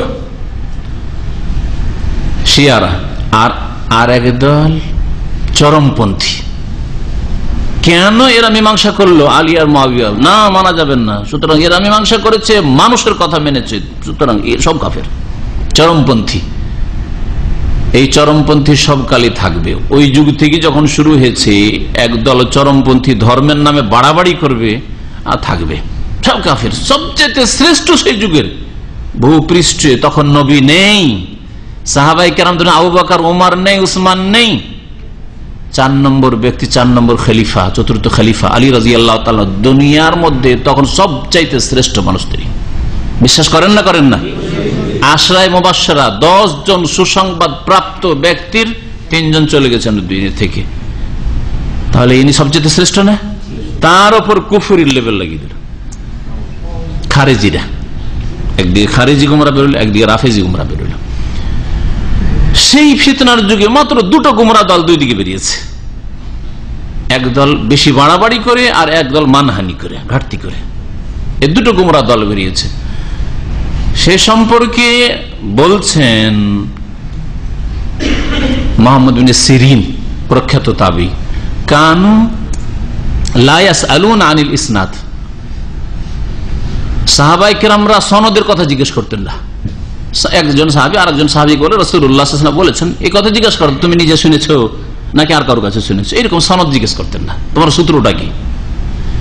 ফালাম্মা যখন ফিতনা শুরু হলো, এই যে আপোষে, ফিরকা শুরু হলো, বলো সাম্বুলানা তখন তারা বলতে শুরু করলে সাহাবাই তাবিনরা তোমাদের নাম বলো, বর্ণনাকারীদের রেজাল, নাম বলো, কার কাছ থেকে শুনেছো তুমি? সরাসরি সাহাবির কাছ থেকে শুনেছো না সরাসরি রসুলের কাছে শুনেছো? না, তুমি অন্য কোনো তাবির কাছে শুনেছো। না, ওই ওই খারেজি, কোন খারেজির কাছে শুনেছো, না রাফিজির কাছে শুনেছো। সাম্মুলানা রেজালাকুম। সাম্মুলানা রেজালাকুম। তোমাদের বর্ণনাকারীদের নাম বলো, কার কাছ থেকে এটা শুনেছো, তুমি নকল করছ? ফাইউনজারু এলা আহলি সুন্নাতে। ভালো করে শোনেন। তারপরে দেখা হয়তো লক্ষ্য করে যে এরা আহলে সুন্নত কিনা। ফাইউ খাজু হাদিস আহলে সুন্নত হলে তাদের হাদিস নেওয়া হইতো। সাহাবাই কেরামদের দল। এরা রাফিজিও না খারেজি না। আর বিদাতিদেরকে দেখা হইতো যে বিদাতি নাকি, এ শুনেছে কার কাছ থেকে খারেজির কাছ থেকে? এই রাফিজির কাছ থেকে? ফালায়ু খাজু হাদিস তখন তাদের হাদিস নিত না। তখন থেকে সতর্ক, তাহলে বিদাতিদের কাছে হাদিস না। যাবেন আহলে বিদাত আর আহলে সন্ন্যত ভাগ হইল না হইল না। আহলে সুন্নাত তখনকার যুগে মুসলিমের সাথে আহলে সুন্নাত বলাই যথেষ্ট ছিল। কিন্তু এখনকার আহলে সুন্নাত যত বেশি কবর মাজার পূজা করতে পারবে আর যত বেশি পীর ধরতে পারবে, তত বেশি আহলে সুন্নাত। ওরা সন্নি, আর যদি কেউ যদি পীর না ধরে, মাজার পূজা না করে ওহাবি দুটো ভাগ করেছে ভারত উপমহাদেশের এক শ্রেণি বিদাতিরা এই তুমি সুন্নি না ওহাবি দুটোর একটা। সুন্নি না থাকলে ওহাবি হয়ে গেলে তুমি। শুনেছেন না শোনান নাই? দেখবেন ভালো করে। আমার এই কথাগুলিকে পরীক্ষা করে দেখবেন ওদের মধ্যে। আর সন্নি যারা বলে, ওরা সবচেয়ে বেশি কবর মাজার পূজা। যত বেশি কবর মাজার পূজা করতে পারে, তত বড় সুন্নি হবে আজকালকার। ভারত, বাংলাদেশ, পাকিস্তানে। আর যদি কবর মাজারের বিরুদ্ধে কথা বলে তো ওহাবি ওহাবি ঢুকিয়ে দিল। দেন ওহাবি হন। কবর মাজার পূজা করবেন না। ওরস চাদর চড়াবেন না, খাসি মোরগ নিয়ে যাবেন না। পাক্কা ওহাবি আছে। ওহাবি হয়ে গেলেন আপনি। তৌহিদের কারণে ওয়াহাবি। অপরাধ হচ্ছে আল্লাহ এক কেন বলছেন? আল্লাহ পাক তার গুণে কাউকে শরিক করেননি। তার কাজে কোনো শরিক নেই। তার এবাদতে কেউ শরিক নেই। শেষদা একমাত্র আল্লাহর জন্য। রোগ ভালো করেন একমাত্র আল্লাহ। বালামসি উদ্ধার করেন একমাত্র আল্লাহ। এই তৌহিদের কথাগুলি বলাই হচ্ছে অপরাধ, যার কারণে ওয়াহাবি। সংক্ষিপ্ত ওয়াহাবিদের পরিচয় আপনাদের বললাম। আর ভারত উপমহাদেশের সুন্নিদের সংক্ষিপ্ত পরিচয় বললাম। আহলে সুন্নাতল জামাত কারা লিখে জানেন? যারা যতগুলি কবর মাজার পূজা করা দল রয়েছে, বেরোলি আটরসি, মাইজ ভান্ডারি, দেওয়ানবাগি, যতগুলি এই ধরনের ফিরকাগুলি রয়েছে, সবগুলি আহলে সুন্নাত লিখে এরা হলো আহলে সুন্নাত। তো এখন যদি কোরআন এবং হাদিস মেনে ওই তাবেইনদের সাহাবাই কেরামদের জামানার মতো বলেন আমরা আহলে সুন্নাত, তখন আবার প্রশ্ন থেকে যায় যে, এবার কোন আহলে সুন্নাত? ওই মাজার পূজারি আটরসিওয়ালা, ওই দেওয়ানবাগিওয়ালা আহলে সুন্নাত? না এর আলাদা কোন আহলে সুন্নাত আবার। তো অস্পষ্ট বোঝা যাচ্ছে না। যার ফলে আর একটা গুণের নামের প্রয়োজন হইতে পারে। মুসলিম হইলেন, আহলে সুন্নাত বললে আবার দুই রকম আহলে সুন্নাত, ভারত মহাদেশ আহলে সুন্নাত মানে কবর মাজার পূজা করতে পারলে আহলে সুন্নাত। হ্যাঁ কবর মুজা- মাজার পূজা যদি না করেন, পীর পীর না ধরেন, তাহলে আহলে সুন্নাত হওয়া যায় না। তাহলে তো আপনারও নিজেকে আহলে সুন্নাত বলছেন, আবার কোরআন হাদিসের কথা বলছেন। তাহলে কোন আহলে সুন্নাত বোঝা যাচ্ছে না? তাহলে আর একটা গুণের প্রয়োজন হইতে পারে। সেই জন্য ভারত উপমহাদেশের ওলামা আহলে হাদিসরা বলছে যে আমরা নিজেদেরকে আহলে হাদিস বলি। এটা ফরজ নয়, কিন্তু পরিচয়ের জন্য আপনি মুসলিম, তো কোন মুসলিম? সুন্নি সুন্নি তো কোন সুন্নি? কবর পূজা করা সুন্নি না আসল সুন্নি? হ্যাঁ? না, অনেক হিন্দুরা আর অনেক মূর্খ মুসলিমরা মনে করে যে যারা শুনে শুনে মুসলমান হয়েছে ওরা সুন্নি। আমাকে এক, ভারতের এক হিন্দু পুলিশ বলছে, যারা শুনে শুনে মুসলমান হচ্ছে নবীকে দেখেনি, ওরা হচ্ছে সুন্নি। আর যারা দেখেছে ওরা শিয়া। তারপরে দেখল কি করে? এখনকার দেখল কি করে? বুঝতে পারছেন? তো এইরকম অনেক মূর্খ মুসলিমদের সন্নি সোনা থেকে না, সন্নি সুন্নাত থেকে। আসল সুন্নত কোরআন, হাদিসের তরিকা, নবীর আদর্শ মানবেন তাহলে সুন্নাত তো এই জন্য আহলে হাদিস বলা কোনো দোষ এই নাম নিয়ে এক শ্রেণির লোকেরা বাড়াবাড়ি করেছে। একদল বলছে ফরজ বলতে হবে আর একদল বলছে হারাম। আর হক হচ্ছে মাঝখানে। হক হচ্ছে মাঝখানে সবসময় হকটা মাঝখানে পাবেন আপনি। কথা বুঝতে পেরেছেন? আমি মুসলিম, তারপরে মুসলিম তো ভাই, ভারতে, বাংলাদেশে মুসলিমের অভাব আছে। সবাই তো মুসলিম তারপরে আপনি কোন মুসলিম? আমি আহলাদিস মুসলিম। আরব দেশে যদি থাকেন, তাহলে আহলাদিস আরবরা বলেন হ্যাঁ আমি সালাফি মুসলিম। সালাফ মানে আমাদের যারা পূর্বসূরি সাহাবাই কেরাম তাবিন তাবা তাবিন ওদের অনুসারী মুসলিম, সালাফি। মিশরে যদি ইন্ডোনেশিয়া মালয়েশিয়া চলে যাব আনসার ও সন্না আমরা কোরআন সন্ন্যার সাহায্যকারী, হাদিসের সাহায্যকারী, আনসার ও সন্না নাম বলা ফরজ নয়, আনসার সন্না ওর বিকল্প বললেও চলে। কারণ আনসার মানে বুঝে যে কবর মাজার পন্থী এরা। হ্যাঁ? সালাফি বললে মানুষ বুঝে যে এরা কবর মাজার পন্থী পীরপন্থী বুঝলেই হইল। তাহলে শব্দ আহলে হইতে হবে, এটাও জরুরি না যদি জরুরি হতো তাহলে আরবদের উপরে ফরজ হইতো আহলে হাদিস বলা। হ্যাঁ? তাহলে ইন্ডোনেশিয়া মালয়েশিয়াতে বলা ফরজ, শুধু ভারত উপমহাদেশে ফরজ হইতো না। তাহলে ফরজ করে নেওয়াটাও এক ভুল, আর একবার নাজাইজ করাটাও এক, আর বাড়াবাড়ি ভুল। আর হক হচ্ছে মাঝখানে যে পরিচয়ের জন্য আপনি বলবেন যে আমি আহলুল হাদিস, অর্থাৎ কোরআন সন্না বিনা কোনো শর্তে মানি। আল্লাহ এবং তার রসুলের কথা বিনা কোনো শর্তে মানি। আমি সালাফি এই জন্য যে আমি সালাফে সালাহিনের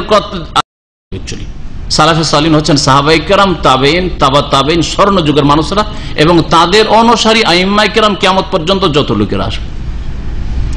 তাদের অনুসারী হইতে হবে শর্ত। আর সাহাবাই কেরামের আমলে ছিল না পীর ব্যবসা, তরিকত ছিল না, আর তরিকত আসলো, আর ওদের অনুসরণ করবে বলে সালাফি না। সালাফি না, ওরা খালাফি, বরং খালফি। খালাফ বলে তো ভালো লোক বুঝায়, পরবর্তীকালের ভালো লোক, এরা খালাফি না, খালফি।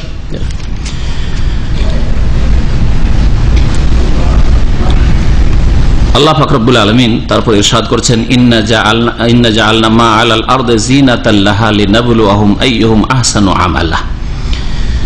এখানে আল্লাহ পাক পৃথিবীর কথা বলছেন যে পৃথিবীকে আল্লাহ পাক কি করেছেন? তাই বলছেন, আর কি করবেন আবার? ইন্না জাআলনা মা আলাল আরদি নিশ্চয় আমি পৃথিবীর ওপর যা কিছু সৃষ্টি করেছি তা পৃথিবীর জন্য শোভা সৌন্দর্য করেছি।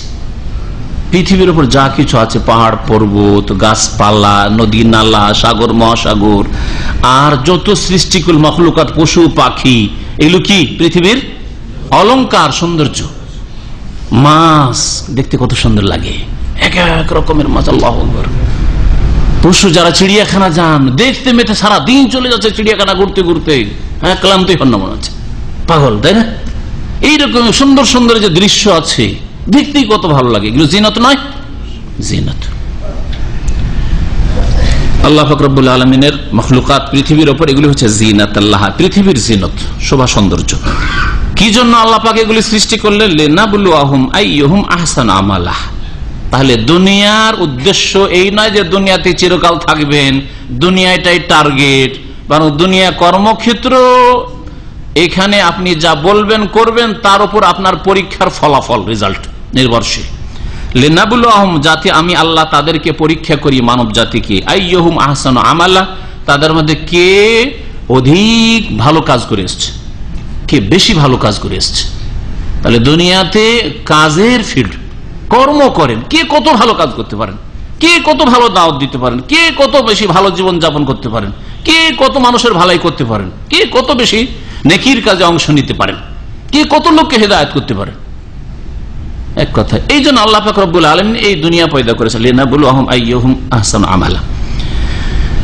এত বিশাল পৃথিবী আর এই আসমান, জমিন আর কত কি আল্লাহ পাকের যে সৃষ্টি রয়েছে, পরীক্ষা যখন আল্লাহ পাকের শেষ হয়ে যাবে, আল্লাহ এখন আর কাজের সুযোগ দেবেন না, এখন ফলাফল রেজাল্ট হবে। আল্লাহ পাক বলছেন যে পৃথিবীর ওপর, এই ভূপৃষ্ঠে যা কিছু আমি সৃষ্টি করেছি, ইন্না যা আল্লাহ মা আলাল আর জিনাতাল্লাহা এই পৃথিবীর শোভা সৌন্দর্য স্বরূপ অলঙ্কার স্বরূপ। লেনাবুল আহম, যাতে মানব জাতিকে আমি পরীক্ষা করি, আইয়হুম আহসান আমালা।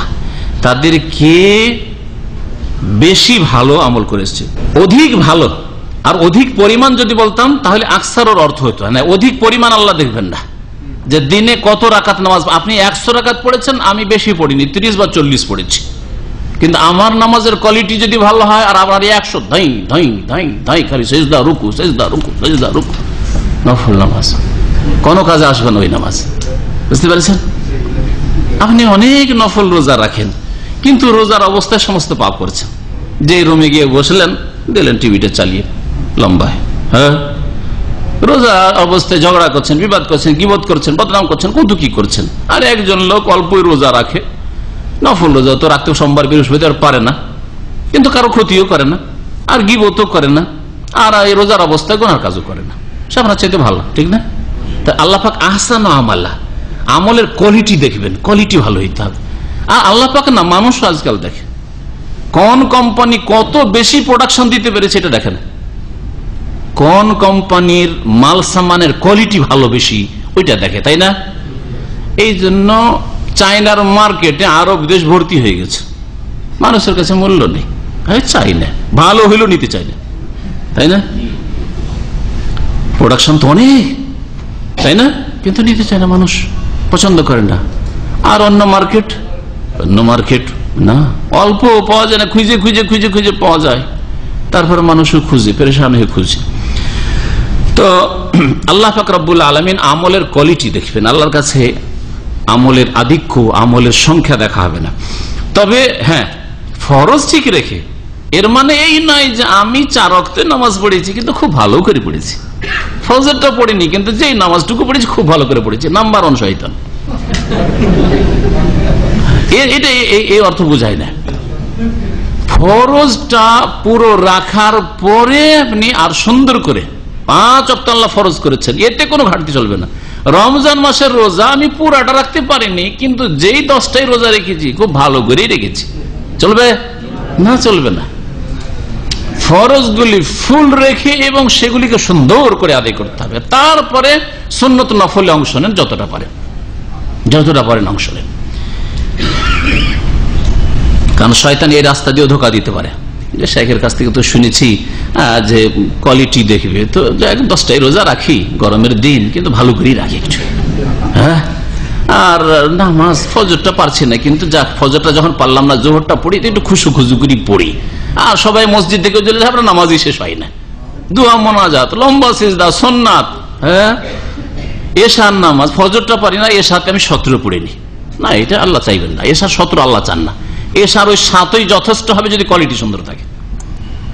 সাত রাকাত এসার যথেষ্ট হবে যদি কোয়ালিটি সুন্দর থাকে। সতেরো আল্লাহ পাক চান না। ভালো আমল হইতে হবে। কে অধিক সুন্দর আমল করে? কে বেশি সুন্দর আমল করে আছে? আর নিশ্চয় আমি পৃথিবীর ওপর যা কিছু আছে, এই ভূপৃষ্ঠে যা কিছু আছে, সবগুলিকে গাছপালা বিহীন করে দেব সাইদান, জোরোজা আর শুকনো করে দেব। শুকনো গাছপালা বিহীন, লতাপাতা বিহীন করে দেব। অর্থাৎ এই পৃথিবী কত সুন্দর আর কত গাছপালা, কত ঘাসপাত, কত সবুজ শ্যামল হয়ে আছে। আল্লাহ পাক রব্বুল্লা আলমিন পৃথিবীকে ধ্বংস করে দিয়ে কি করে দেবেন? কোনো গাছ থাকবে না, কোনো লতা পাতা থাকবে না, কোনো ঘাস থাকবে না। আর কোনো পানিও থাকবে না, শুষ্ক। জোরজ জোরজ মানে হচ্ছে শুষ্ক। জোরজ আর জোজুর দুটোর মানে শুষ্ক, এই জন্য জাজিরা দ্বীপকে কি? বলা হয়? জাজিরা বলা হয়। তো আরবিতে আগে, শব্দের আগে পরে অনেক সময় একই অর্থ বহন করে। জোজর, জাজিরার বহু বচন জাজিরা কাকে বলে? দ্বীপ। দ্বীপ মানে কি? শুকনো জায়গা নয়? পানির মধ্যে শুকনো কোনো জায়গা। এটার নামই তো জাজিরা, দ্বীপ না, তাই না? তো যা যা, রা জাজার মানেও শুকনো। আর যা রাজা জারাজ জরুজ এখানে আছে, ওর মানেও শুকনো। যেমন কোনো কিছুকে টানা, একে জাজাব বলা হয় জাবাজও বলা হয়। তিনটে অক্ষর আছে, কিন্তু আগে পরে করে আছে। আরবি ভাষায় এই রকমের কিছু অলঙ্কার আছে। আল্লাহ ফাকরাবুল আলমিন কি বললেন? যে এই পৃথিবী এত সুন্দর হওয়া সত্ত্বেও কর্মক্ষেত্র যখন শেষ হয়ে যাবে, পরীক্ষার সময় শুরু হবে, এখন রেজাল্ট ফলাফল। ফলাফল যখন দেব, তখন পৃথিবীকে গাছপালা শূন্য করে দেব চাইদান মানে। আর শুষ্ক করে দেব। আর সেখানে কেয়ামত হবে, মানুষের বিচার হিসাব নিকাশ হবে। আল্লাহ ফাকরাবুল আলমিনের এইসব কুদরতের বহিঃপ্রকাশ যা ঘটেছে, ঘটবে পৃথিবীকে আল্লাহ পাক এত সুন্দর করে সাজিয়েছেন। পৃথিবীতে আল্লাহ পাক এত সৃষ্টি সৃষ্টি করেছেন, এত মখলুকাত। মানুষকে কত সুন্দর করে আল্লাহ পাক সৃষ্টি করেছেন। মানুষকে আল্লাহ পাক জিনকে পরীক্ষা করবে এই পরীক্ষার জগৎ দুনিয়া। আর তারপরে এই বিশাল পৃথিবী আর এতে যত কিছু রয়েছে, সবকে আল্লাহ পাক নিশ্চিন্ন করে ধ্বংস করে দেবেন। আর এমন এক পৃথিবী আল্লাহ পাক সৃষ্টি করবেন, যেটাতে কোনো গাছপালা হবে না, ঘাসপাত হবে না, আর যেটা হবে শুষ্ক। এটা কি বিস্ময়কর জিনিস নয়? আশ্চর্যজনক জিনিস নয়? না, এর চাইতে আশ্চর্যজনক হচ্ছে গুহাওয়ালার ঘটনা। হ্যাঁ? এর চাইতে আশ্চর্যজনক কি? না, কিছুই না। কয়েকজন যুবক, তারা দীর্ঘদিন সে আশ্রয় নিয়ে ওখানে ঘুমিয়ে থাকল, তারপরে উঠল, তিনশো তিনশো নয় বছর পরে, আর তারপর উঠে আবার আসলো, আবার ফিরে চলে গেল, আবার সেখানে কি মারা গেল? এই যে ঘটনা। এতদিন ধরে ঘুমিয়ে থাকার ঘুমের পর উঠানো। এটা একটা আশ্চর্যজনক ঘটনা, কিন্তু এর চাইতে বড় আশ্চর্যজনক আল্লাহ পাকের অনেক সৃষ্টি রয়েছে। এটা হচ্ছে বোঝানোর উদ্দেশ্য। তাহলে তারপরের আয়াতে আসছে, আম হাসেব তান আসহাব আল কাহফি ওয়ার রাকিমে কানুমিন আয়াতিন আজাবা এই গুহা অধিবাসীদের যে ঘটনা আল্লাহ বর্ণনা শুরু করছেন আর বলছেন যে, এটা কি আমার আশ্চর্যজনক নিদর্শন মনে করছ? হ্যাঁ আশ্চর্যজনক নিদর্শন, কিন্তু এর চাইতে বড় বড় আশ্চর্যজনক সৃষ্টি, নিদর্শন আল্লাহ পাকের অনেক রয়েছে। এই সূর্য, এই চন্দ্র, এই তারকা, গ্রহ, আর আল্লাহ ফাকরুল আলমিনের সৃষ্টি পৃথিবী সাগর, মহাসাগর, নদী, নালা উত্থান পতন, জাতির উত্থান পতন, এগুলি আল্লাহ পাকের বহু নিদর্শন, সৃষ্টিগত নিদর্শন, আল্লাহ ফাকরুল আলমিন। এখান থেকে আজকে তা শেষ- করি, কারণ সময় শেষ দিকে, আর এই গুহার অধিবাসীদের ঘটনা শুরু করলে আবার মাঝখানে ভাঙাচোরা থেকে যাবে, ইনশাআল্লাহ তালা আগামী সপ্তাহে আল্লাহ পাক যদি এখানে রাখেন এবং সেই সালামত থাকি, তো আবার ইনশাআল্লাহ আমরা তফসির করব। আল্লাহ পাক যেন আমাদের গুনা খাতা মাফ করে দেন। কোরআন বোঝার তৌফিক দান করেন। কোরআনের প্রতি আমল করার তৌফিক দান করেন। আল্লাহ পাক আমাদেরকে সংশোধন করার তৌফিক দান করেন। আল্লাহ পাক আমাদের নিজেদের সংশোধনের তৌফিক দান করেন। মানুষের সংশোধন আল্লাহ পাক তৌফিক দান করেন। আপনজনদেরকে আল্লাহ পাক যেন হৃদায়তের পথে রাখেন। আল্লাহ পাক মুসলিম ভাই বোনদেরকে যে যেখানে আছেন আল্লাহ পাক যেন হেফাজত করেন সমস্ত অনিষ্ট থেকে, বালা মুসিবত থেকে যেন রক্ষা করেন। যেসব ভাইরা অনেকেই দোয়া চেয়েছেন কারও আম্মার ইন্তেকাল হয়েছে যেমন আমাদের এক ভাই বললেন আবু হানিফা ভাই মনে হয় নাকি? আবু হানিফা কোথায়? আহ, বললেন ওনার আম্মার ইন্তেকাল হয়েছে আজকে আপনাদের কাছে দোয়া চেয়েছেন। আর এক ভাই বললেন ওনার আম্মা না আব্বা অসুস্থ রয়েছে ইত্যাদি। এইরকম অনেকে আল্লাহ পাক যেসব ভাই বোনেরা অসুস্থ রয়েছে আল্লাহ পাক যেন তাদেরকে সুস্থতা দান করেন। যেসব ভাই বোনরা মমিন মমিনা দুনিয়া থেকে বিদায় নিয়েছেন আল্লাহ পাক তাদের রুহের মাগ ফেরত করেন গুনা খাতা মাফ করে দেন তাদেরকে জান্নাতুল ফিরদৌস দান করেন। আর বিশেষ করে আমরা দোয়া করি, আর মমিন বান্দাদের হক আমাদের উপর। যারা এই ঢাকায় বিল্ডিং ধসে মারা গেছেন, আল্লাহ পাক তাদের মমিন মমিনাদের গুনা খাতা যেন মাফ করে দেন। তাদের মধ্যে যারা মমিন মমিনাত, আর অধিকাংশই আশা করি মমিন মমিনাত, আল্লাহ তাদের গুনা খাতা তুমি মাফ করে দাও। তাদের শাহাদাত তুমি কবুল করো এবং তাদেরকে তুমি জান্নাত নসিব করো। তাদের আত্মীয় স্বজন যারা আপনজন রয়েছে, তাদেরকে আল্লাহ পাক রব্বুল আলমিন তুমি ধৈর্য ধারণে তৌফিক দান করো। আল্লাহ পাক তাদেরকে তুমি উত্তম বিকল্প দান করো, উত্তম প্রতিদান দান করো। যেসব মানুষ মারা যাওয়ার কারণে ছেলেরা এতিম হয়েছে, নারীরা বিধবা হয়েছে, আল্লাহ পাক তাদের দুনিয়ার হেফাজত করো, দিনের হেফাজত করো, তাদের রিজিকে বরকত দান করো। আর যেসব ভাইরা সেখানে আহত হয়েছেন আল্লাহ ফাকরবুল আলম তাদেরকে যেন শিফা দান করেন, সুস্থতা দান করেন। আল্লাহ ফাকরবুল আলম তাদেরকে যেন ইমানের উপর রাখেন এবং তাদের জীবনে ভুল ভ্রান্তি থাকলে আল্লাহ পাক তাদেরকে যেন সংশোধনের তৌফিক দান করেন। আর তারা যেন আল্লাহমুখী হয়, পরকালমুখী হয়, এই দুয়াই তাদের জন্য করব আল্লাহ পাক সকলকে যেন হৃদায়ত দান করেন। যেসব জালেমদের কারণে এই দুর্ঘটনা ঘটেছে। যে কোনো জালেমের কারণে আল্লাহ পাক রব্বুল আলম তাদের যেন সর্বনাশ করেন। আল্লাহ পাক তাদের যেন হৃদায়ত নসিব থাকে, আল্লাহ পাক হৃদায়ত দান করেন। আর যেসব জালেমরা বাড়াবাড়ি করে, সীমা লঙ্ঘন করে, আর এই যে জুলমের শিকার এই ভাই বোনেরা হয়েছে, এর পিছনে যারা কারণ পরোক্ষভাবে বা প্রত্যক্ষভাবে আল্লাহ পাক তাদের যেন সর্বনাশ করেন, আল্লাহ পাক তাদেরকে যেন ধ্বংস করেন, তাদের দুনিয়া এবং আখেরাত যেন আল্লাহ পাক রব্বুল আলমী নষ্ট করেন। আল্লাহ পাক রব্বুল আলমের কাছে দোয়া করি, আল্লাহ পাক আমাদের দোয়া যেন কবুল করেন। মমিন মমিনাদের আল্লাহ পাক হেফাজত করেন। নেক লোকদের আল্লাহ পাক যেন হেফাজত করেন। সুবহান রব্বিকা রব্বিল ইজ্জাত আম্মা ইয়াসিফুন, ওয়া মুরসালিন আলহামদুলিল্লাহি রাব্বিল আলামিন। আর কি? বাংলা প্লেট ছটা আয়না দেখলে গরিব হয়ে যাবে ভাঙ্গা প্লেট বা ভাঙ্গা আইনা? ভাঙ্গা গ্লাসে পানি খেলে। কি হয়ে যাবে? হ্যাঁ? যায় দিনের দিন গরিব হয়ে যাবে। এসব আছে নাকি আপনাদের এতে এতেকাদ? আছে দেশে আছে? এগুলো সিরকি কথা। যেগুলি কারণ নয় কোনো কিছুর আর সেগুলোকে কারণ যদি বলেন তো এটা হচ্ছে কমের পক্ষে ছোট সিরক। ভাঙা গ্লাসে পানি খাওয়া গরিবের কারণ নয়। হ্যাঁ? ভাঙা আয়নায় মুখ দেখা অভাবের কারণ নাই। সেটাকে যদি কারণ কেউ করে, তাহলে এটা হচ্ছে কমপক্ষে ছোট শির আর ছোট শির কাবিরা গুণা এইরকমই তাবিজ রোগের আরোগ্যের কারণ নাই। আর তাবিজকে রোগের আরোগ্যের কারণ মনে করলে এই জন্য তাবিজ করা শির। হাতে টাকা বাঁধা, সুতা বাঁধা হ্যাঁ বালার লাগানো, এটা রোগের চিকিৎসার উপায় নয়। কিন্তু সেটাকে রোগের চিকিৎসার সোর্স মনে করল, সেই জন্য এগুলো শির। বুঝে রাখবেন ভালো করে। একটা কায়দা মনে রাখবেন যে কোনো কিছু যদি সাবাব না হয়, কারণ না হয়, সেটাকে কারণ বলা হয় যে এটার ওইটা কারণ তাহলে এটা হচ্ছে কমের পক্ষে ছোট শির। আর যদি বলেন ওর মধ্যেই ক্ষমতা আছে।